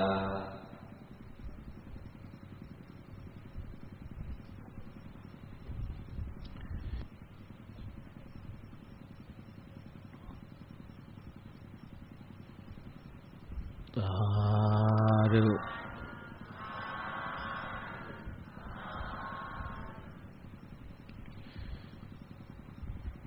ဒီနေ့ညပရမဝုဇုံညအနေနဲ့ဘုန်းကြီးတို့တပေါင်းလားကွယ်နေ့ခြေကိုကြီးဘုရားလံပြုပြင်မောမှမှုထိမ့်မှဓမ္မပူဇာဓမ္မတပင်မှာဓမ္မပူဇာလူတော်ငွေကျပ်9သိန်းရပါတယ်ဘုန်းကြီးဒီလမ်းခင်းဖို့လို့3သိန်းလှူထားပြီးသားပါခု9သိန်းနဲ့ပေါင်းရင်10သိန်း မပြည့်ရင်လည်းဘုန်းကြီးဖြည့်မလို့ဆိုပြီးတော့ကျောင်းကလည်းအာယုံပြုတ်ပြီးသားဒီလမ်းခင်းတဲ့တော့ဘုန်းကြီး10သိန်းလှူမယ်လို့အာယုံပြုတ်ပြီးသားအဲ့တော့ဒီမှာပရိသတ်များဝိုင်းဝန်းပြီးတော့လှူလိုက်တာက9သိန်းရပြီးသားဘုန်းကြီးအစောတည်းကဒီမှာ3သိန်းလှူပြီးသားအဲ့တော့အလုံးလန်းခင်းတဲ့တဲ့ကိုဒီနေ့ည10သိန်းလူတန်းငွေဓမ္မရေးမင်းဆရာတော်နဲ့တရားနာပရိသတ်များကောင်းမှုလမ်းလူဒါန10သိန်းလှူပါတယ်လို့အဲ့ဒီလှူရတဲ့ကုသိုလ်ကောင်းမှုကဇောတုံးကပြောသလိုပေါ့ ကုံမဲ့ကင်းစာဝိဝိစိတ်တော်ဟာပေါ့လမ်းဆိုလက်ညင်လက်ယုံမာကြီးကိုရှောင်ရှားကျင်ပယ်ပြီးတော့နိဗ္ဗာန်ကြောင့်ကြောင့်ခရီးကောင်းကိုဘုရားတပည့်တော်တို့လိုက်ရပါလို့ဤသွားရပါလို့ဤလေအဲ့ဒါနိဗ္ဗာန်ဆိုတောင်းပြီးတော့ဘုရားတိုင်းဒီကုသိုလ်ကောင်းမှုကိုတတ္တဝအနန္တကိုယ်နဲ့ရကြပါစေအေးဗုဒ္ဓဂယာဘုရားကြီးတည်ထားတော်မူခဲ့တဲ့ဓမ္မစီရီမင်းကြီးနဲ့ဒီကုသိုလ်ကောင်းမှုတွေကိုရပါစေမြင်ပါစေဆိုပြီးတော့အဲ့ဒီကုသိုလ်တွေအလုံးအမြောက်ဝေလိုက်ကြဆိုကိုင်လိုက်ဆိုပြဣဒံမေဘုံညာ နိဗ္ဗာနသပစ္စယောဟောတုရှင်ဘုရားတပည့်တော်များသည်ကံကို၎င်းကံဤကျိုးတရားကို၎င်းယုံကြည်ကြပါကုန်သည်ဖြစ်၍တရဏဂုံ၃ပါးနှင့်၈ပါးသောသီလတော်မြတ်တို့ကိုကျင့်သုံးခံယူ သောက်တည်ပြီးလျင်1383ခုတပေါင်းလားခွေနေ့ကြာရောက်ရာအခါသမယ၌ဥဒ္ဒမြို့သစ်ရှိရကွက်ဓမေစီရီမင်းကြီးတိထကိုးခွဲခဲ့သောရွှေကူကြီးဖရာလံပြုပြင်းမွမ်းမှန်မှုအထိန်အမ ဓမ္မဒါနာဓမ္မဘူဇာတရားအလှကိုပေးလှူရာတွင် ရှင်ဘုရားသည်ဟောကြားတော်မူအပ်သောတရားတော်များကိုရိုးရိုးသေးသေးလေးလေးစားစားမှတ်မှတ်သားသားနာကြားကြပါကုန်၏ရှင်ဘုရားထိုမတပါတရားတော်ကို ပူဇော်သည်အနေအချင်းဓမ္မဘူဇာနဝကမ္မအလှတော်ငွေများကိုစေတနာသုံးထံပြထမ်း၍လူတန်းပါဤရှင်ဖေယထုံမတပါတရားနာအရေးအာပေကြွရောက်ကြကုန်သောတရားနာပရိသတ်ပေါင်း သူတော်ကောင်းတို့အားအလှရှင်အသေးသေးတို့ကအာဟာရဒါနအခမ်းကျွေးမွေးလူတန်းပါဤအရှင်ဖေယထိုမတပါသွားရည်လာရည်လွယ်ကူစေရန်ယာနဒါနရင်အလူကို ပေးလူပါကုန်ဤရှင်ဖေယ ထိုမတပါတရားပွဲကြီးဖြစ်မြောက်ရန်အတွက်ဝေယဝိစ္စအမှုကြီးငယ်အသွဲအသွဲတို့ကိုပြုလုပ်ဆောင်ရွက်ပါကုန်၏ရှင်ဖေယဤကောင်းမှုတို့သည်တပည့်တော်တို့အတွေ့မဲ့ညာဘုံညာဘောဓိညာဤရရရာကြောင်း အထောက်ပံ့ကောင်းသည် ဖြစ်ပါစေသာအရှင်ဖေယယနေ့ယခု ပြုတ်ပြုတ်သည်မြကုသလဤအဖိုးဘာကကို အထူးအဖြင့်ဘဝနတ်ဆံဘဝနတ်ထံစံလွန်လေပြီဟန္တာဝတိဗုဒ္ဓဂါယာမဟာဘောဓိစေတီတော်ကြီးဤ ဖယားဒါယကဓမေစီတီမင်းကြီးအားရညာပါစေအမြဝေဤထိုမတပါအနန္တခိုင်ဝင်ယေရှုတော်ရှင်မိခင်ဖခင်ဆရာသခင်တို့အား၎င်းကိုဇောက်နမစထား၍နတ်မြတ်နတ်ကောင်းနတ်အပေါင်းတို့အား၎င်း အတိမ်ဘဝကတော်ဆက်ခဲ့ကုန်သောမိဟောင်းဖဟောင်းဘိုးဟောင်းဘွားဟောင်းဆွေဟောင်းမျိုးဟောင်းပုဂ္ဂိုလ်ပေါင်းတို့အား၎င်းယခုဘဝ၌တော်စား၍ဘဝတပါပြောင်းရွှေ့သွားကြကုန်သောဆွေမျိုးညီအကို မောင်နှမမိတ်ဆွေသင်္ဃာအစရှိသောပုဂ္ဂိုလ်ပေါင်းတို့အား၎င်းဣမန္တသောတရားနာအရေးအာပေကြွရောက်ကြကုန်သောတရားနာပရိသတ်ပေါင်းသူတော်ကောင်းတို့အား၎င်းရညာပါစေအမြဝေဤ အလုံးစုံကုန်သောဝေနေယဒုက္ခိတာဒုက္ခိတာတတဝါအနန္တတို့သည်ကုသိုလ်ရှင်ကောင်းမှုရှင်ရှိကြကုန်သောတပည့်တော်များဤပေဝေသောအမြကိုရကြကုန်သည်ဖြစ်၍ဝမ်းမြောက်နှုမော သာဓုသာဓုဟုခေါ်ဆိုနိုင်သည်ဖြစ်ကြပါစေကုန်သောအာလုံးကြာကြာသမျှအမြအမြအမြယူတော်မူကြပါကုန်လောသာဓုသာဓုသာဓုအာလုံး ကြာကြာသမျှအမြအမြအမြယူတော်မူကြပါကုန်လောသာဓုသာဓုသာဓုအလုံးကြာကြာသမျှအမြအမြအမြယူတော်မူကြပါကုန်လောသာဓုသာဓု သာဓုအလုံးသက်ရှိကြမှာစိတ်ချမ်းသာ၍လူရာဆန္ဒပြည့်ကြပါစေ